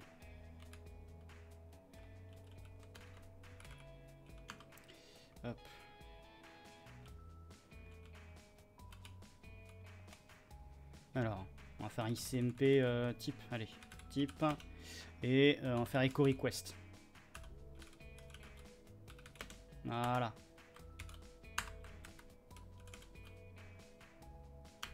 Ouais, là il est passé. Hop, et on va le mettre dans etc nftables.conf. Et donc là, normalement, si je vais ici et que je tente un ping vers 192.168.122.13, et ben ça ping. Voilà. Euh, serveur 12, voilà. Hop. Donc ça c'est cool. Ça c'est très cool. Nano. Alors, question pour un admin 6 parano. Euh, ping, autorisé ou pas sur un réseau d'entreprise? Au boulot, c'est désactivé, du coup c'est quand même très chiant pour voir si c'est la machine qui répond pas ou bien juste une appli dessus. Alors, c'est assez marrant. Euh, je, suis tombé, euh, je suis tombé sur un site en préparant ce... Merci beaucoup pour le follow Lucas Chanel 32. Merci beaucoup à toi. C'est très gentil. Euh, c'est une excellente question. Euh, euh, je suis tombé sur un site shouldiblockicmp.com Et en gros, c'est un site qui a l'air d'être, d'être, comment dire, d'être, d'être dédié au fait de, de ne, comment dire justement, de ne pas bloquer euh, l'ICMP. Euh,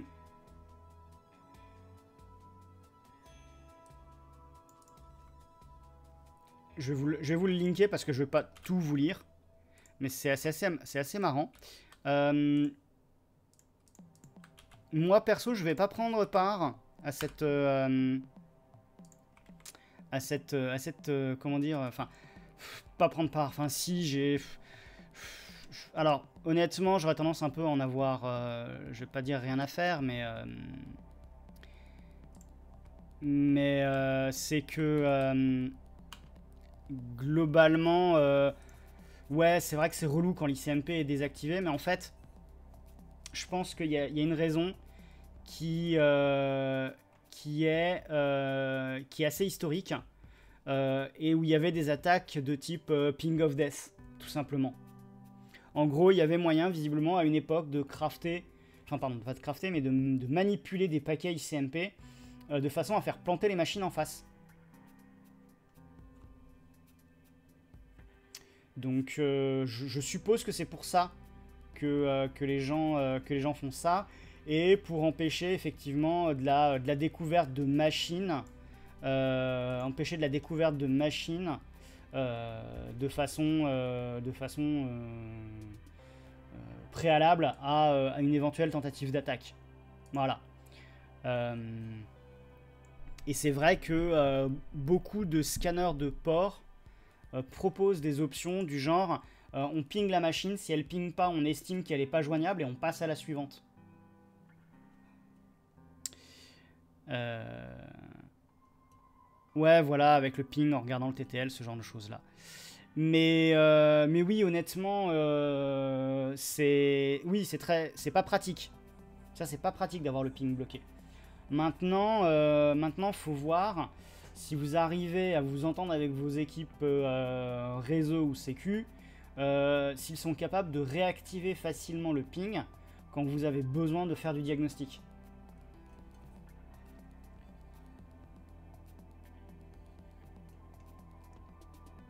Oui, les deux se défendent, McCall. Les deux se défendent. Et Gizmo qui va voir s'il peut s'entendre avec lui-même. c'est oui, c'est une, euh, c'est une effectivement, c'est. Euh, après voilà, c'est. Je pense que c'est une question de politique d'entreprise et, euh, et, ça va dépendre, ça va dépendre aussi de parce que ce qu'il faut voir, c'est qu'il y a plusieurs éléments qui peuvent conduire vers l'une ou l'autre des, des décisions. Il peut y en avoir une en se disant ouais, bon, c'est de l'ICMP, on s'en fiche. On peut avoir le raisonnement à l'ancienne avec effectivement les anciennes, euh, les, vieux types d'attaques, ou alors le type découverte du, euh, réseau.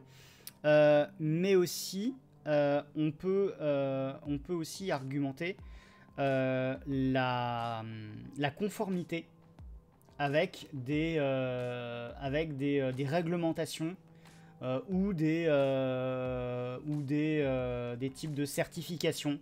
Je pense à ISO 27001, je pense à PCI DSS, ou, ou pourquoi pas les trucs du genre département de la défense américain, ou, ou autre, ou autre comment dire, ou autre truc du genre. si, si pour une raison ou pour une autre on vous dit pour être en conformité avec le règlement euh, bidule mes choses, euh, bah, euh, il, faut, il faut bloquer l'ICMP, bah vous bloquez l'ICMP. Voilà. C'est ça. Un bon vieux Nmap, ça rend le blocage de ping de, de nul.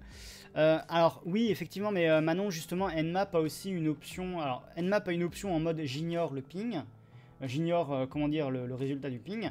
Mais euh, tu peux aussi avoir euh, l'effet inverse euh, d'une personne qui va faire un ping de, enfin qui va faire un ping, qui va faire un scan de type ICMP pour dans un premier temps balayer le réseau et voir si, si des machines répondent et ne vouloir scanner que les machines qui semblent répondre. C'est pour ça, c'est aussi l'argument de dire si la machine ne répond pas au ping, elle aura peut-être moins de chances d'être scannée. Troll, on fait pas du réseau sous Windows. pas mal, pas mal. Bien. Euh, qui disait je retiens Net4-Z hostport, même si j'étais. Même si je sais pas s'il y a ça sous Windows. Ah oui, d'accord, ok. Là, d'où la réponse à Haribo. Ok. Nmap, les antivirus de partout, ça les alerte? Ah ouais, ok. Euh, je t'avoue que les dernières fois que j'ai fait du Nmap, je sais pas s'il y a eu des alertes. Je crois cas, bah après, c'est... Bon, bref. Les bloqueurs d'ICMP connaissent le fonctionnement de IPv6. Je suspecte que les bloqueurs d'ICMP n'ont pas activé IPv6, euh, Malmignat. donc, donc bon. Merci beaucoup pour le follow, Selectable47. Merci beaucoup à toi. Donc pour le moment, voilà, on a réussi à, mettre en place notre, notre firewall. Euh, moi, ce que j'aurais tendance à, vous faire, à vous dire, au-delà de cette histoire euh, d'autoriser ou pas euh, le ping, c'est d'aller un peu plus loin sur la configuration du firewall. un point que je ne vais pas aborder, je sais c'est un peu cruel de ma part, mais là, dans notre cas de figure, on a mis un chain input, mais on n'a pas parlé de la chain output par défaut, tout le trafic sortant est autorisé. Et euh, certains ou certaines d'entre vous qui ont assisté euh, à mes streams depuis longtemps savent que euh, il fut une époque, j'avais j'avais fait des, streams un peu plus orientés sécu, sur lesquels j'avais tenté, voire même parfois réussi à compromettre euh, une, application volontairement vulnérable euh, qui s'appelle DVWA. Euh, et j'avais réussi à la compromettre parce que, parce que le firewall en sortie était en mode open bar, en mode tout ouvert.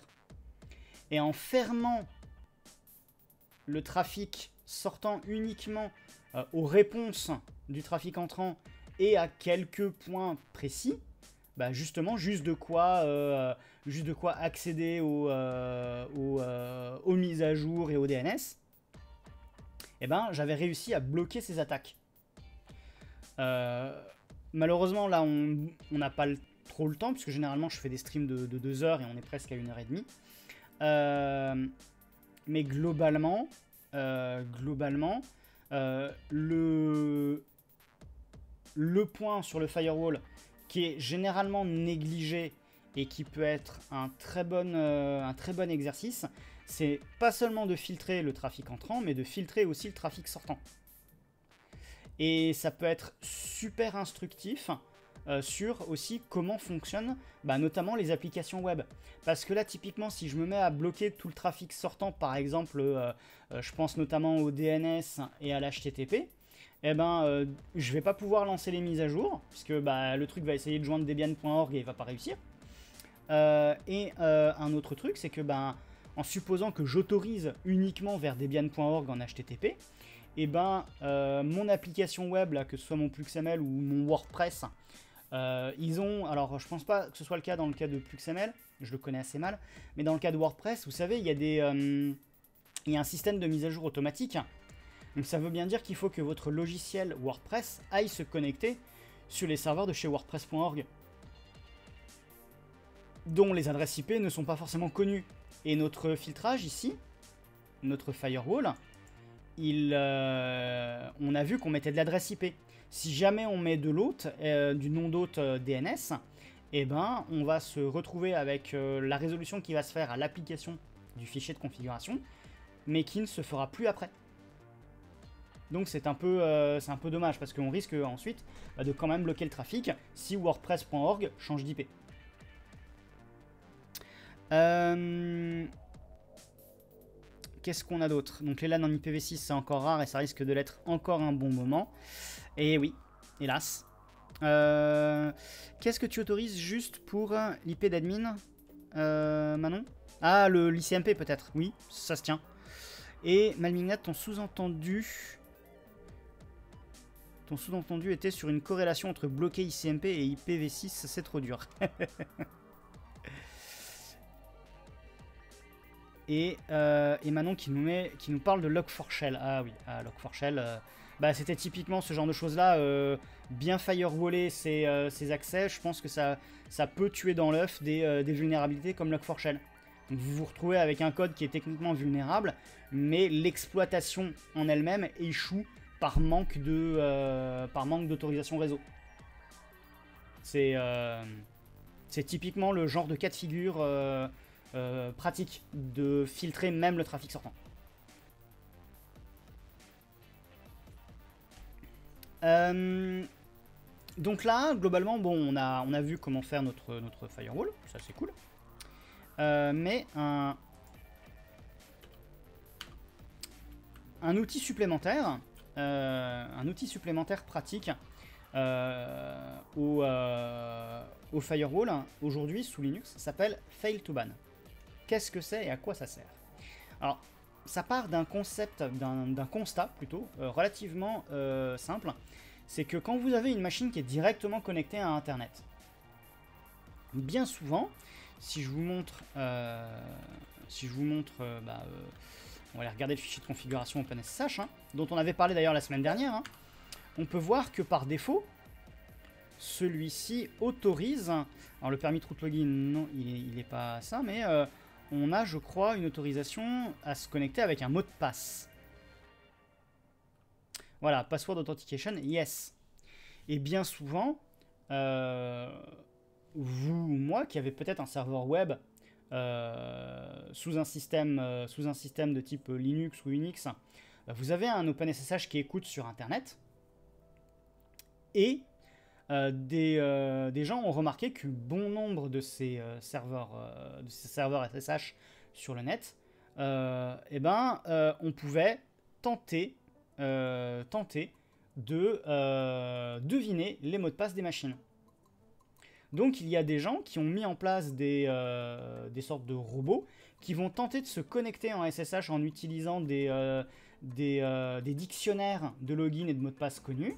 Et ils vont tenter comme ça, sur tout le, tout le réseau Internet, d'obtenir des accès. Parce qu'il y a des gens, il y a des gens qui, sur un port SSH connu, et pas que le 22, vont euh, parce que c'est une machine de test, parce que euh, ils s'en fichent, ils se disent ouais, je me, peu importe, de toute façon ma machine elle intéresse personne, vont laisser des euh, logins et des mots de passe facilement devinables.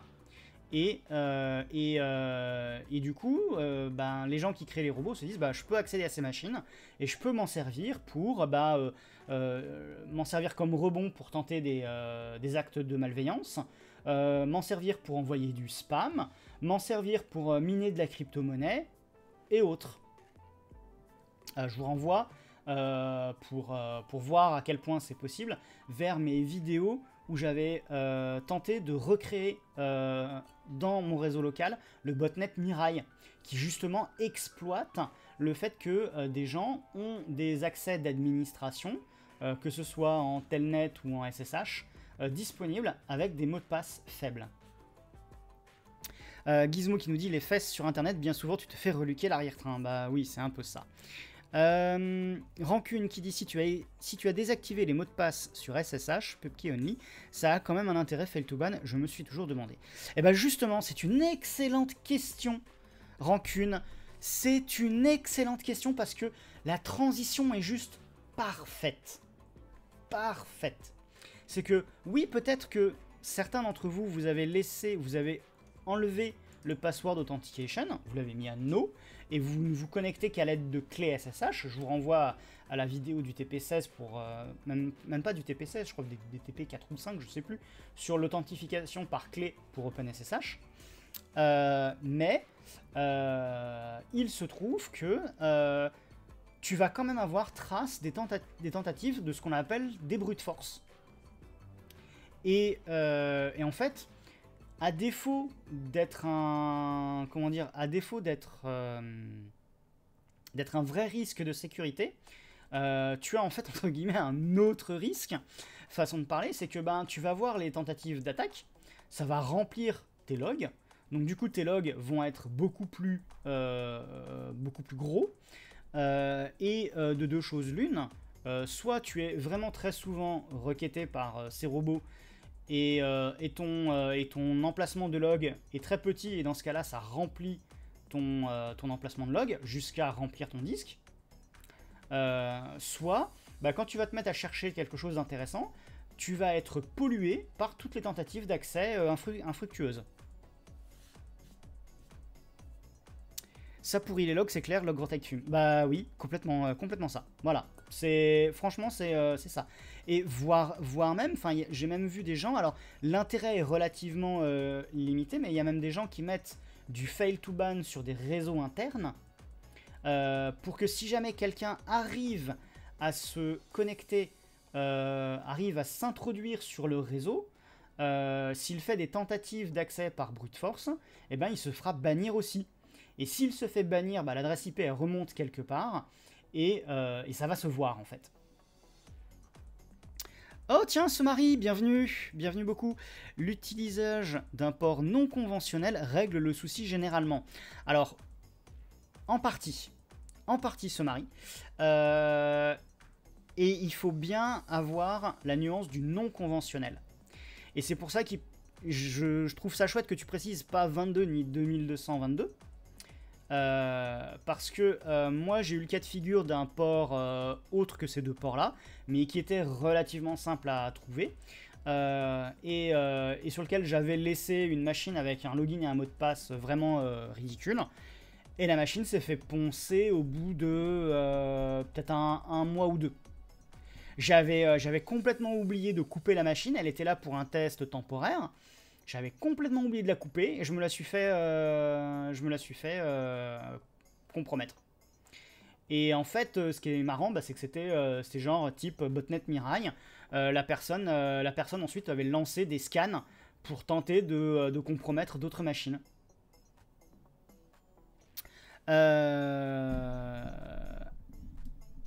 Pour sauver la planète, gardez vos mails, mais installez Fail2Ban. Ouais, McCall, c'est pas mal. Euh, tu as moins de tentatives, mais ça ne règle absolument pas le problème. Euh, les ports non conventionnels prédictibles sont scannés, comme je viens de le dire, effectivement. Euh, mais c'est sûr que le port, je sais pas moi, 7534, a priori, il n'y a aucune raison que les scanners de brute force SSH aillent le chercher. Voilà. Port 7534 vous faites ce que vous voulez de cette information-là. Mais voilà. Euh, Rancune qui rajoute que le problème c'est qu'il est souvent sur des réseaux assez contraignants et ils laisseront pas passer les trucs trop originaux. Nom de la VM, test. oh mince, j'ai oublié de donner la machine test. Ouais, non, mais c'était un peu ça. C'était un peu ça. C'était un peu ça. Euh, tu préférais les ports bio. mais bref, euh, effectivement, non, mais cette histoire de port non conventionnel, euh, euh, c'est pas, euh, c'est pas bête à la base. Hein. Mais, effectivement, il faut, vraiment avoir un truc qui n'est pas, facile, à deviner. Donc voilà de quoi un peu Fail to Ban, le constat dont Fail to Ban est, est parti. Et donc quelqu'un s'est dit, eh ben, je vais écrire un outil qui va lire dans les logs les, tentatives d'accès, qui va voir que quand euh, l'utilisateur n'existe pas ou que euh, le mot de passe n'est pas bon pour la euh, cinquantième fois, il faut peut-être mettre un, comment dire, une, une règle de blocage sur cette adresse IP là pendant un certain temps, le temps que l'autre eh ben, passe, passe à, une autre, à une autre cible. Et donc on va aller voir un peu comment configurer ce, euh, fail to ban. Alors d'abord il faut l'installer. Donc euh, bah on va faire un petit apt euh, search fail to ban. Et on peut voir qu'il bah, y a un fail to ban. Alors ça c'est marrant parce que quand on fait un apt search fail to ban, on a CrowdSec maintenant qui remonte. Je ne serais pas surpris que dans une description un petit peu plus conséquente, CrowdSec dit on est différent de fail to ban par tel et tel côté. En fait. Euh, l'intérêt aujourd'hui de CrowdSec, c'est qu'en fait, il est basé sur une base de réputation. Donc là où Fail2Ban va attendre que l'adresse IP euh, se soit montrée malveillante pour la bloquer, euh, CrowdSec dira Eh, mais attends, toi, t'es dans la liste des gens qui sont pas très cool, je veux pas te voir ici. Donc les, les, deux outils peuvent être, comment dire, peuvent être d'ailleurs quelque part complémentaires. Euh, tu n'arrives euh, toujours pas à te connecter sur le port 29202. Et McCall qui rajoute le port 5734 à son outil de scan de hackers. Alors j'avais dit 7534 McCall. J'avais dit 7534. Mais maintenant c'est intéressant, le 5734 je vais peut-être le noter. Hein. Voilà, voilà. Donc eh ben, on va installer fail2ban, hein, apt install euh, fail2ban. Fail2ban.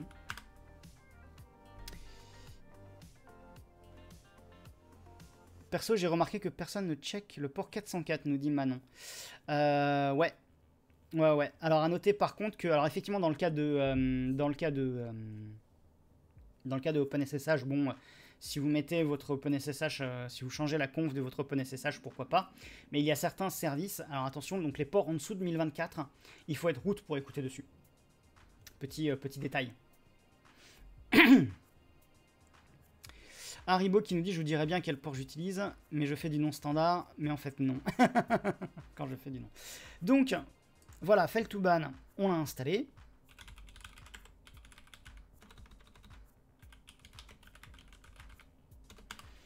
Donc a priori, il est active running. Euh, est-ce qu'il est bien activé par défaut? Enabled. Ok, ça c'est bon. Donc jusque là, tout va bien.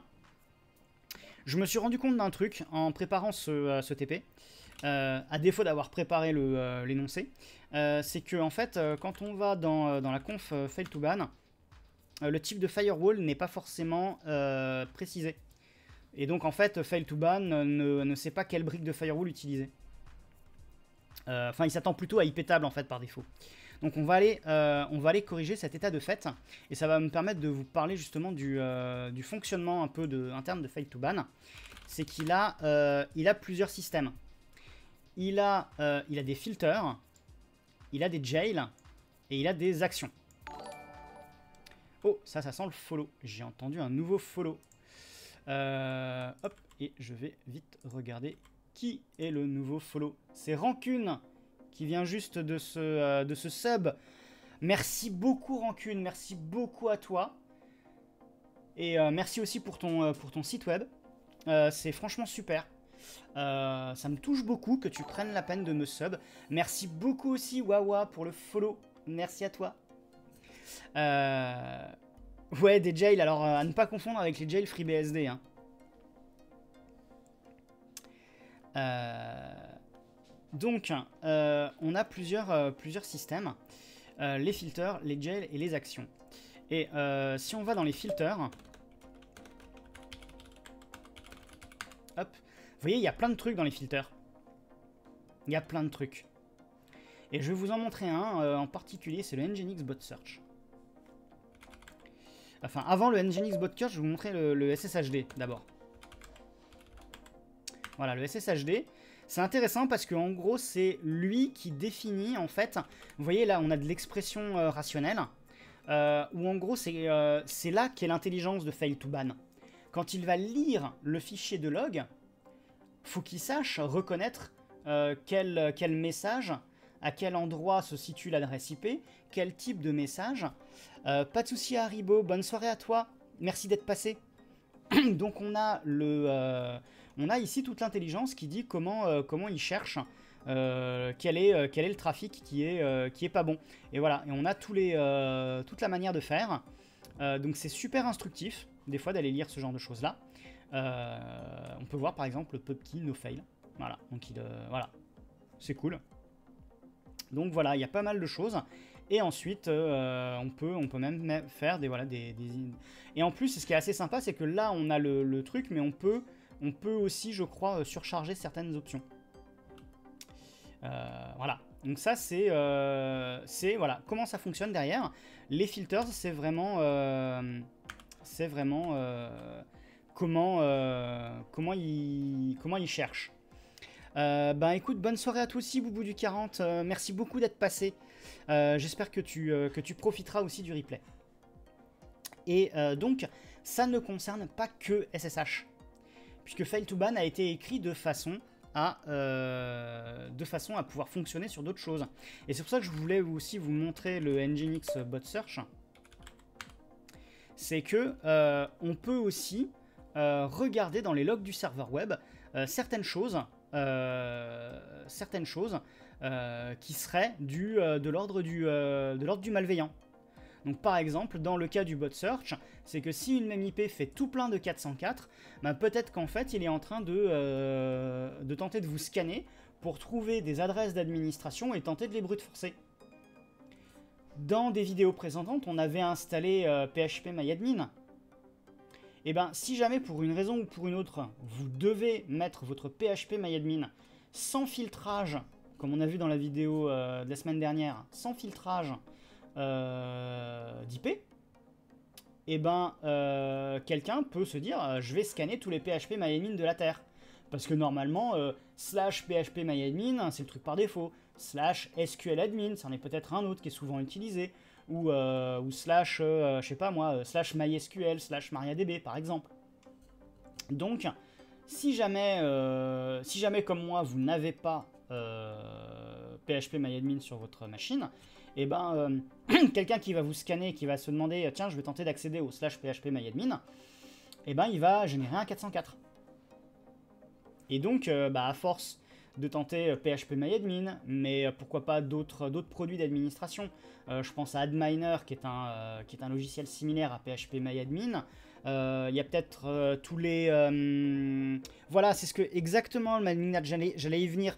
WordPress, les pages d'admin de WordPress c'est euh, voilà, c'est slash wp-admin.php, je crois, un truc comme ça. Euh, euh, et, ça, c'est possible aussi. De, du coup, de bloquer ces gens-là qui, tentent de se, de se connecter et qui génèrent des 404.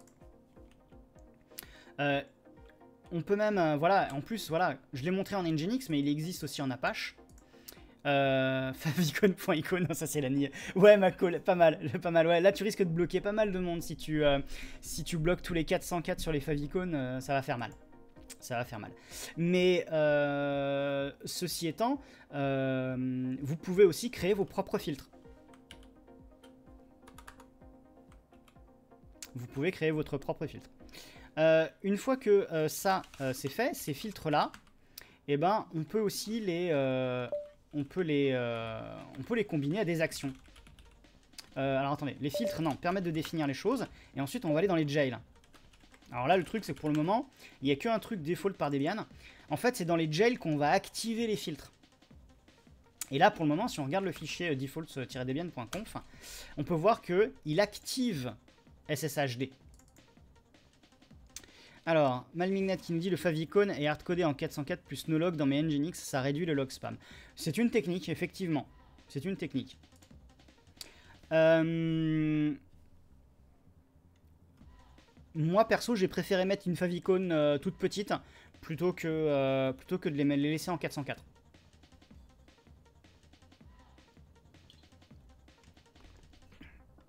Mais... Mais effectivement, peut-être que je pourrais enlever le, log, le log euh, des, des, favicon. Et donc en fait, euh, quand on active euh, nos, filtres, en fait, eh ben, on, fait des jails et on les met en enable la true.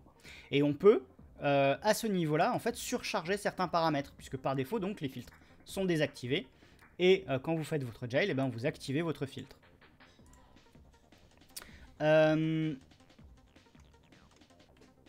à partir de là, lorsque vous avez configuré votre, euh, jail avec, euh, avec votre filtre, vous pouvez aller dans... Euh, vous pouvez avoir une action à mener.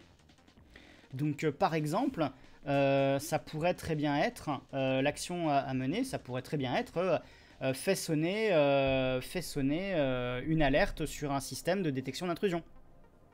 Ou alors, ça peut être, bah, comme on en parlait avant, bah, déclenche le firewall, ajoute l'adresse IP à une IP euh, de, euh, euh, de, machines bloquées.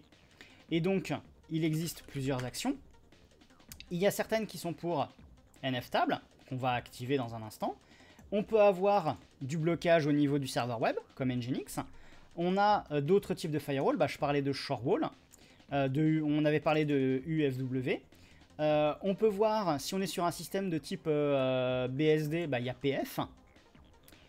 Et il y a un petit NPF dont je vous parle aussi pour NetBSD parce que... Euh, et d'ailleurs, merci, euh, merci Dashi si tu es encore là parce que c'est Dashi qui avait initié le package, euh, le package, le package file to ban pour package source et donc NetBSD et je me suis permis de, de le terminer. Et d'ajouter pour, pour celles et ceux qui ont testé NetBSD sur les conseils 10 000, vous pouvez installer euh, un NetBSD, vous pouvez le firewaller avec NPF et vous pouvez mettre fail to ban euh, sur, euh, sur NetBSD. Vous pouvez l'installer depuis, depuis package source et utiliser NPF grâce à Bibi. Petit, voilà, petit instant d'autopromotion et d'autocongratulation, si vous me l'accordez.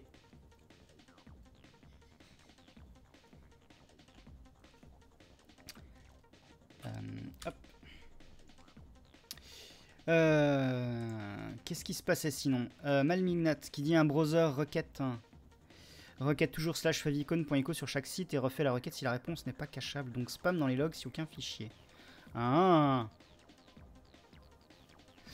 Et euh, Manon qui disait ouais envoie un SMS ouais à chaque à chaque SMS enfin à chaque euh, si à chaque ban t'as un SMS euh, ta facture elle risque d'augmenter. Hein. Euh, chaque requête sur un domaine, les navigateurs requêtent le favicon.echo pour afficher une icône dans l'onglet. Ouais, d'où 404 quand il n'y en a pas, effectivement.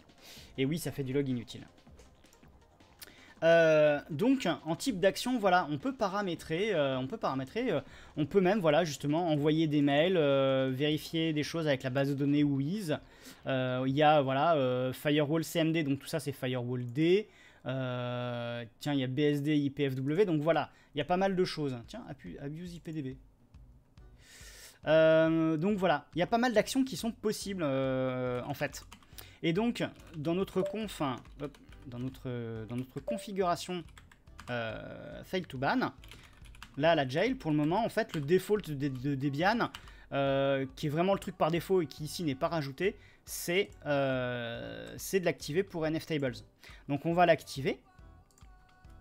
On va l'activer avec deux, euh, euh, deux petites commandes.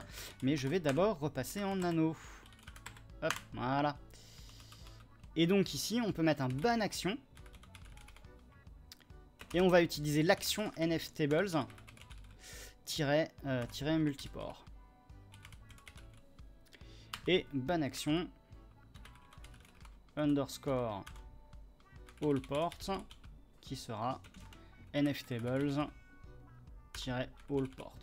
Et donc là, c'est pas la commande, c'est pas la commande qu'on indique, c'est juste l'action en fait, le type d'action, enfin le nom de l'action.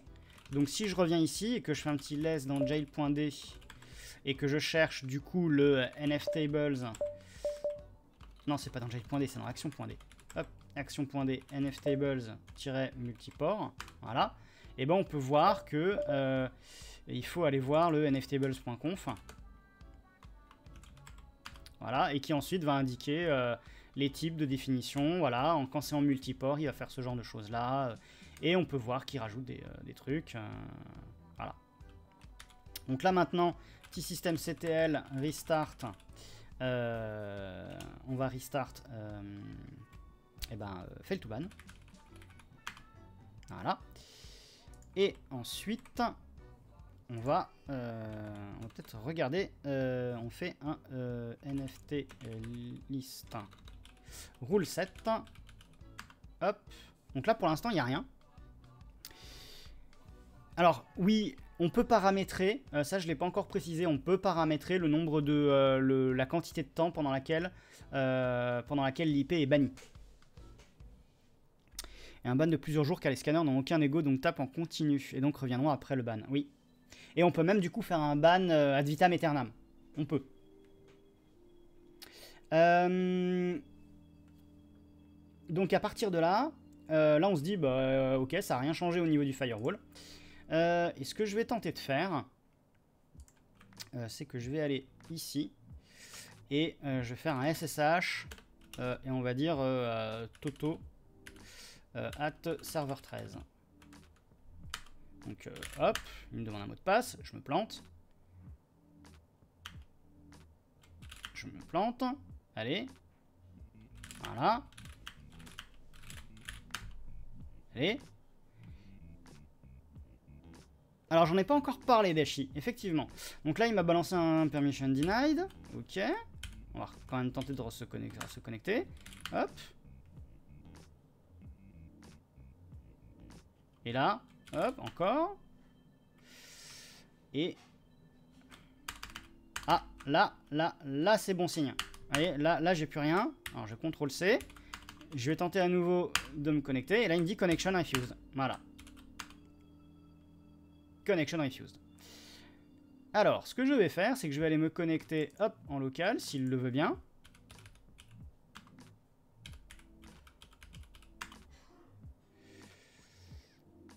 Eh non, il le veut pas. Euh,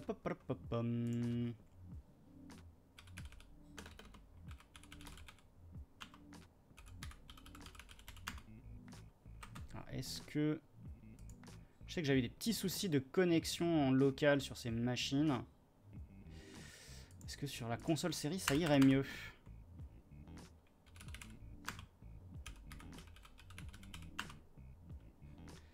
Il a pas l'air de trop aimer euh, le guide incorrect. Euh, j'aurais dû, dû, tester avec une autre machine. Je vais le redémarrer. Et je vais vous remontrer ça. Hop, allez. Euh, afficher. Ouais, allez, hop, démarre. C'est super utile, devine comment je sais. c'est comme pour RM, mon RF, il y a les gens à qui c'est déjà arrivé et les personnes à qui ça va bientôt arriver. Oui, oui, Malmignat, oui, effectivement. Euh... Hop.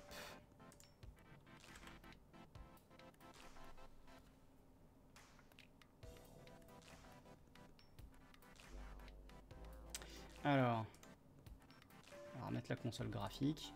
Voilà, donc il a fini normalement par revenir. Et, et il l'a gardé en mémoire. Le vilain petit... Le vilain petit... Euh, petit méchant. Euh, alors, la connexion locale marche plus. Je vais être un peu ennuyé. Parce que du coup, en fait, je me suis vraiment, mais alors, vraiment enfermé dehors, pour le coup puisque euh, j'ai firewallé les deux autres machines de façon à ce que seul serveur 13 vienne s'y connecter. Donc, euh, et puis en plus, je les avais rajoutés en, euh, par défaut. Hein. Reboot, attaque au grub. Ouais, effectivement, ça peut se tenter. c'est 5 ou 10 minutes par défaut. Il y a moyen, McCall. Euh,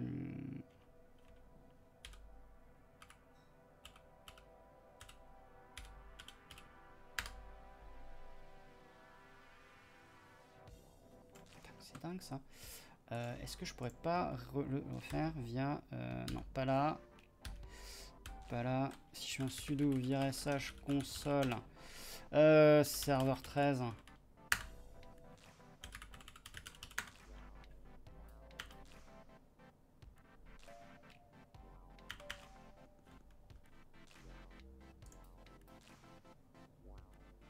Parce que là c'est bon, j'ai coupé mes... Ouais. Bah alors? Pourquoi il m'affiche rien? Oh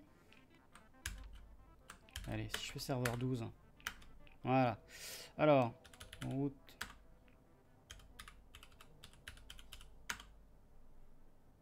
Ah, il a pas l'air d'aimer les... Pourtant, je l'avais bien... Euh... Ouais, student, on va essayer celui-là. Et euh, je sais pas, je vais essayer de copier-coller le mot de passe euh, password. Euh, éditeur de texte. Hop.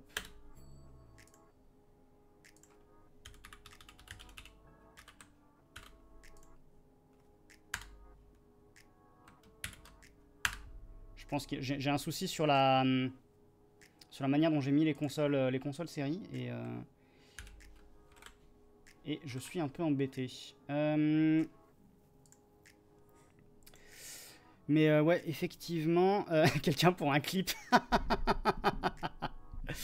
ouais, on va peut-être tenter, tenter de passer via le grub. Allez. Est-ce que je suis en console Spice? Oui. Et on va lui dire, hop, forcer la réinitialisation. Oui. Hop. Alors, qu'est-ce qu'on a dans les options avancées? Il n'y aurait pas le... Euh, il y a un recovery mode euh, Est-ce que le recovery mode aurait pas... Euh, si ça redémarre, bah non. On a, vu, vu que non. Justement, Manon, on a vu que non. donc il l'a gardé en mémoire et il m'a rebanni en fait enfin il m'avait déjà il m'a gardé dans le ban. pof pof pof pof pof. Est-ce qu'il y a un truc là-dedans euh Alors, de stream pour débutants. Ah, on passe par le grub d'Atescalated Quickly. Ouais, effectivement. Effectivement. Euh, alors, si je fais un recovery, est-ce qu'il va me réclamer un mot de passe? Est-ce que par défaut, euh, Debian... Euh, avec bash comme init?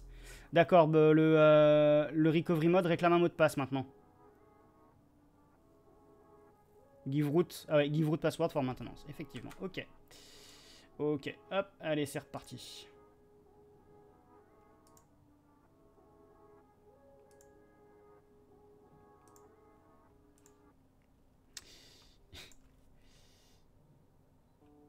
Hop, allez. Alors, avec le grub, euh, le grub, voilà, initRD, hop, et on lui dit bin bash. Oula.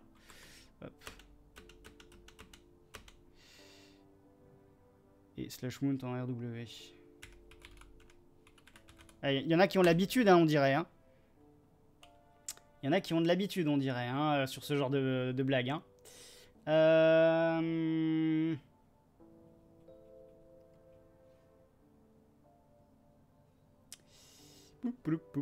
Pas init. Ah, juste init égal directement Ah, ok.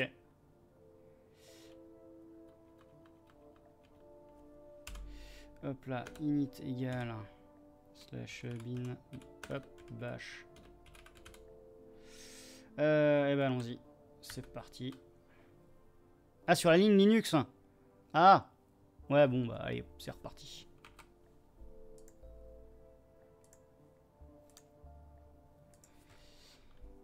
L'interdit, il te le faut. Oui, c'est vrai. Hop. Hop. Allez.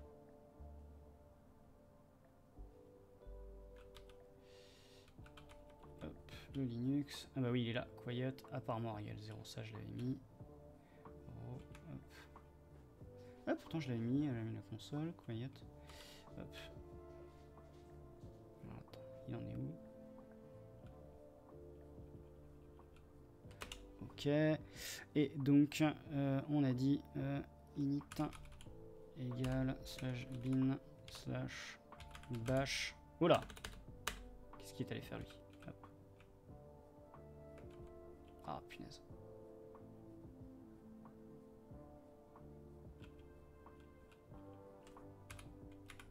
Bash. Allez.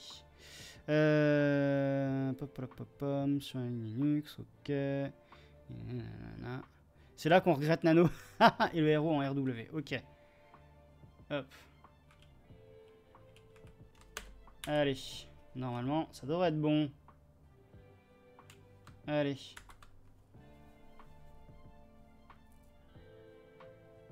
Ça fait un petit moment que je l'avais pas fait ce genre de blague. Oh, je l'aurais remonté, ça aurait pas été un drame. Mais oui, si on peut se l'éviter. Euh.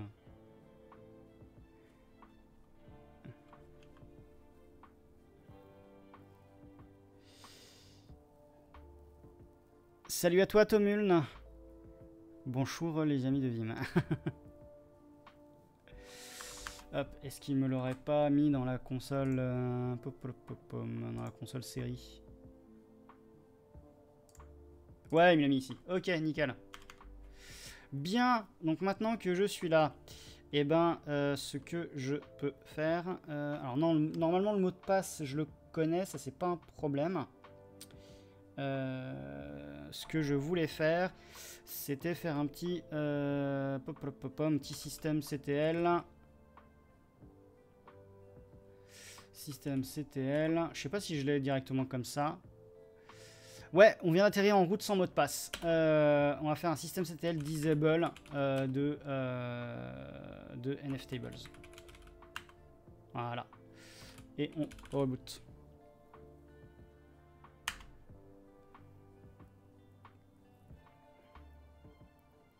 Ah. Euh... Ok. ouais, éventuellement, oui, le sync. Sync, euh, sync. Et puis, euh, et puis forcer la réinitialisation, ça marche aussi. Allez. On va espérer qu'il redémarre sans firewall cette fois-ci.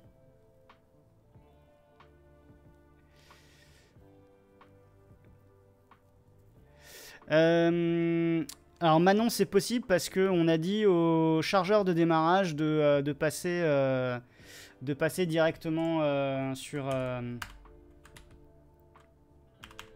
c'est pas ça que je voulais. De passer directement sur Bash sans, en passant outre bon nombre de choses, en fait.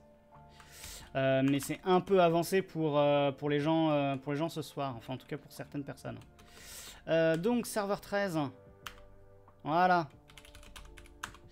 Et si je fais un petit nft euh, list, euh, non, ouais, c'est ça, list, rule 7. Alors on peut voir qu'il y a Docker qui est toujours là, qui fout le bazar, mais on n'a absolument aucune des règles classiques. Donc si je fais un petit système CTL start euh, de, de nftables, voilà, et un ft list rule 7, vous voyez que voilà, Docker il s'est et si je fais un système CTL restart un Docker, alors avec, un seul C, hop, et que je refais un NFT list rule set, les, euh, les règles Docker sont à nouveau apparues. Euh, je vais peut-être faire un petit système CTL restart. Euh, alors, avant de faire un restart du fail to ban, on va, peut-être faire un petit fail to ban. On va jouer avec les commandes de fail to ban, un fail to ban client, qui est assez pratique, qui est la commande qui permet justement de regarder les choses dans, euh, Fail to Ban. Et euh, ce que je voudrais vous montrer, c'est, eh ben, on peut faire un status. Donc là, on peut voir qu'il y a une jail d'activer, qui est SSHD, ça tombe bien. Donc on peut aller un peu plus loin et dire, ça status SSHD. Euh, et là, il n'y a plus rien. Là, c'est bon, il a tout, il a tout oublié. restart, fail to ban, hop. Voilà. Donc là, on est toujours bon. Et là, ce que je vais faire, c'est que je vais aller me connecter avec euh, serveur 11. Et puis, on va tenter un SSH euh, sur, sur serveur 13. Donc là, là c'est bon. J'ai pu m'y connecter. Et maintenant, on va refaire la même bêtise.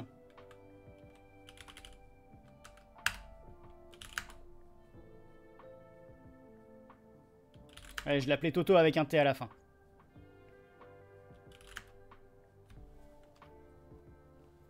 Donc là, il est pas content. Et là... Et là, il m'affiche plus rien. Donc ça, c'est plutôt bon signe. Ça, ça veut dire très probablement qu'il a, été, euh, a été banni. Voilà, connection refused. Donc, je reviens sur mon serveur 13. Voilà. Euh, hop, j'étais là. Salut à toi, Dréogan. Bienvenue.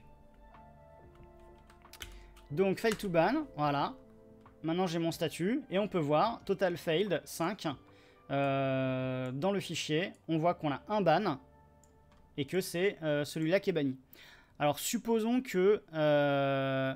Oui, tout à fait, Manon. Pour s'en prémunir, il faut mettre un mot de passe à grub.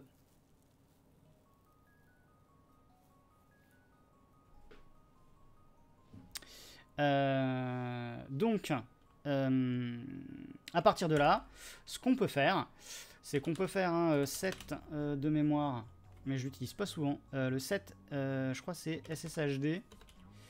Et on lui dit unban IP. Hop. Voilà. Et donc, si je relance le status, on dit bien qu'il y avait en, en, total ban un 1, mais en currently ban, plus rien. Et on peut voir que dans la liste d'IP banni, il n'y a plus rien. Et donc là, je reviens ici, et je peux à nouveau tenter de me reconnecter.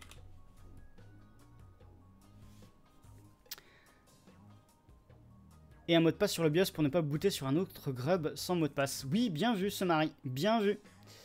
Bien vu.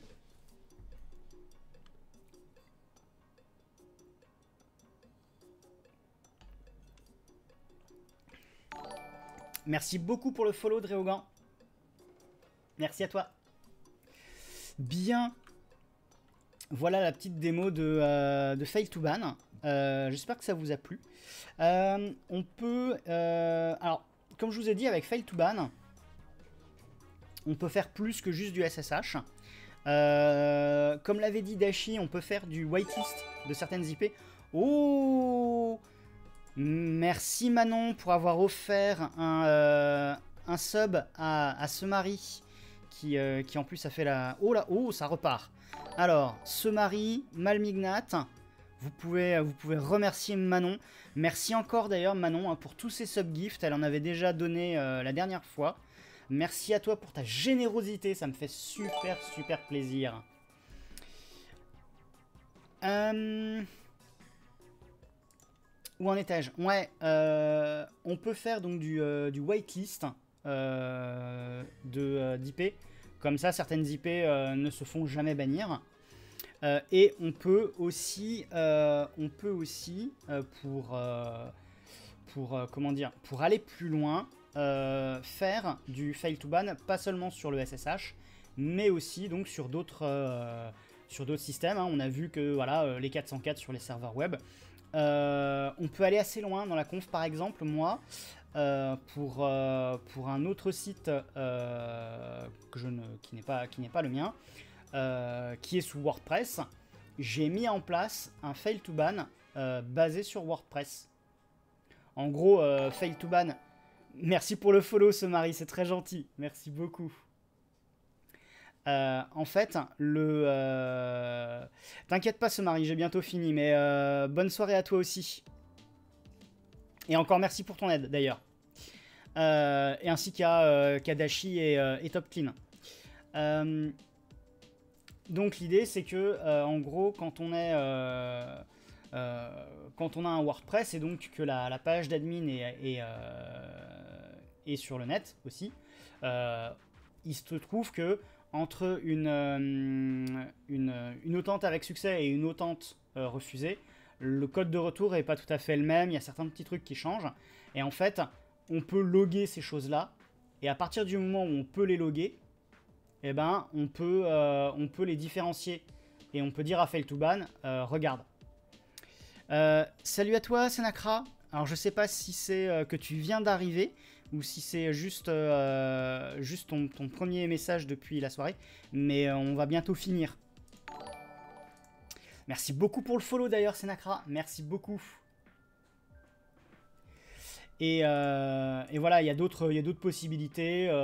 moi, je sais que j'ai aussi mis des trucs sur des requêtes bind. Enfin voilà, c'est assez puissant, fail to ban.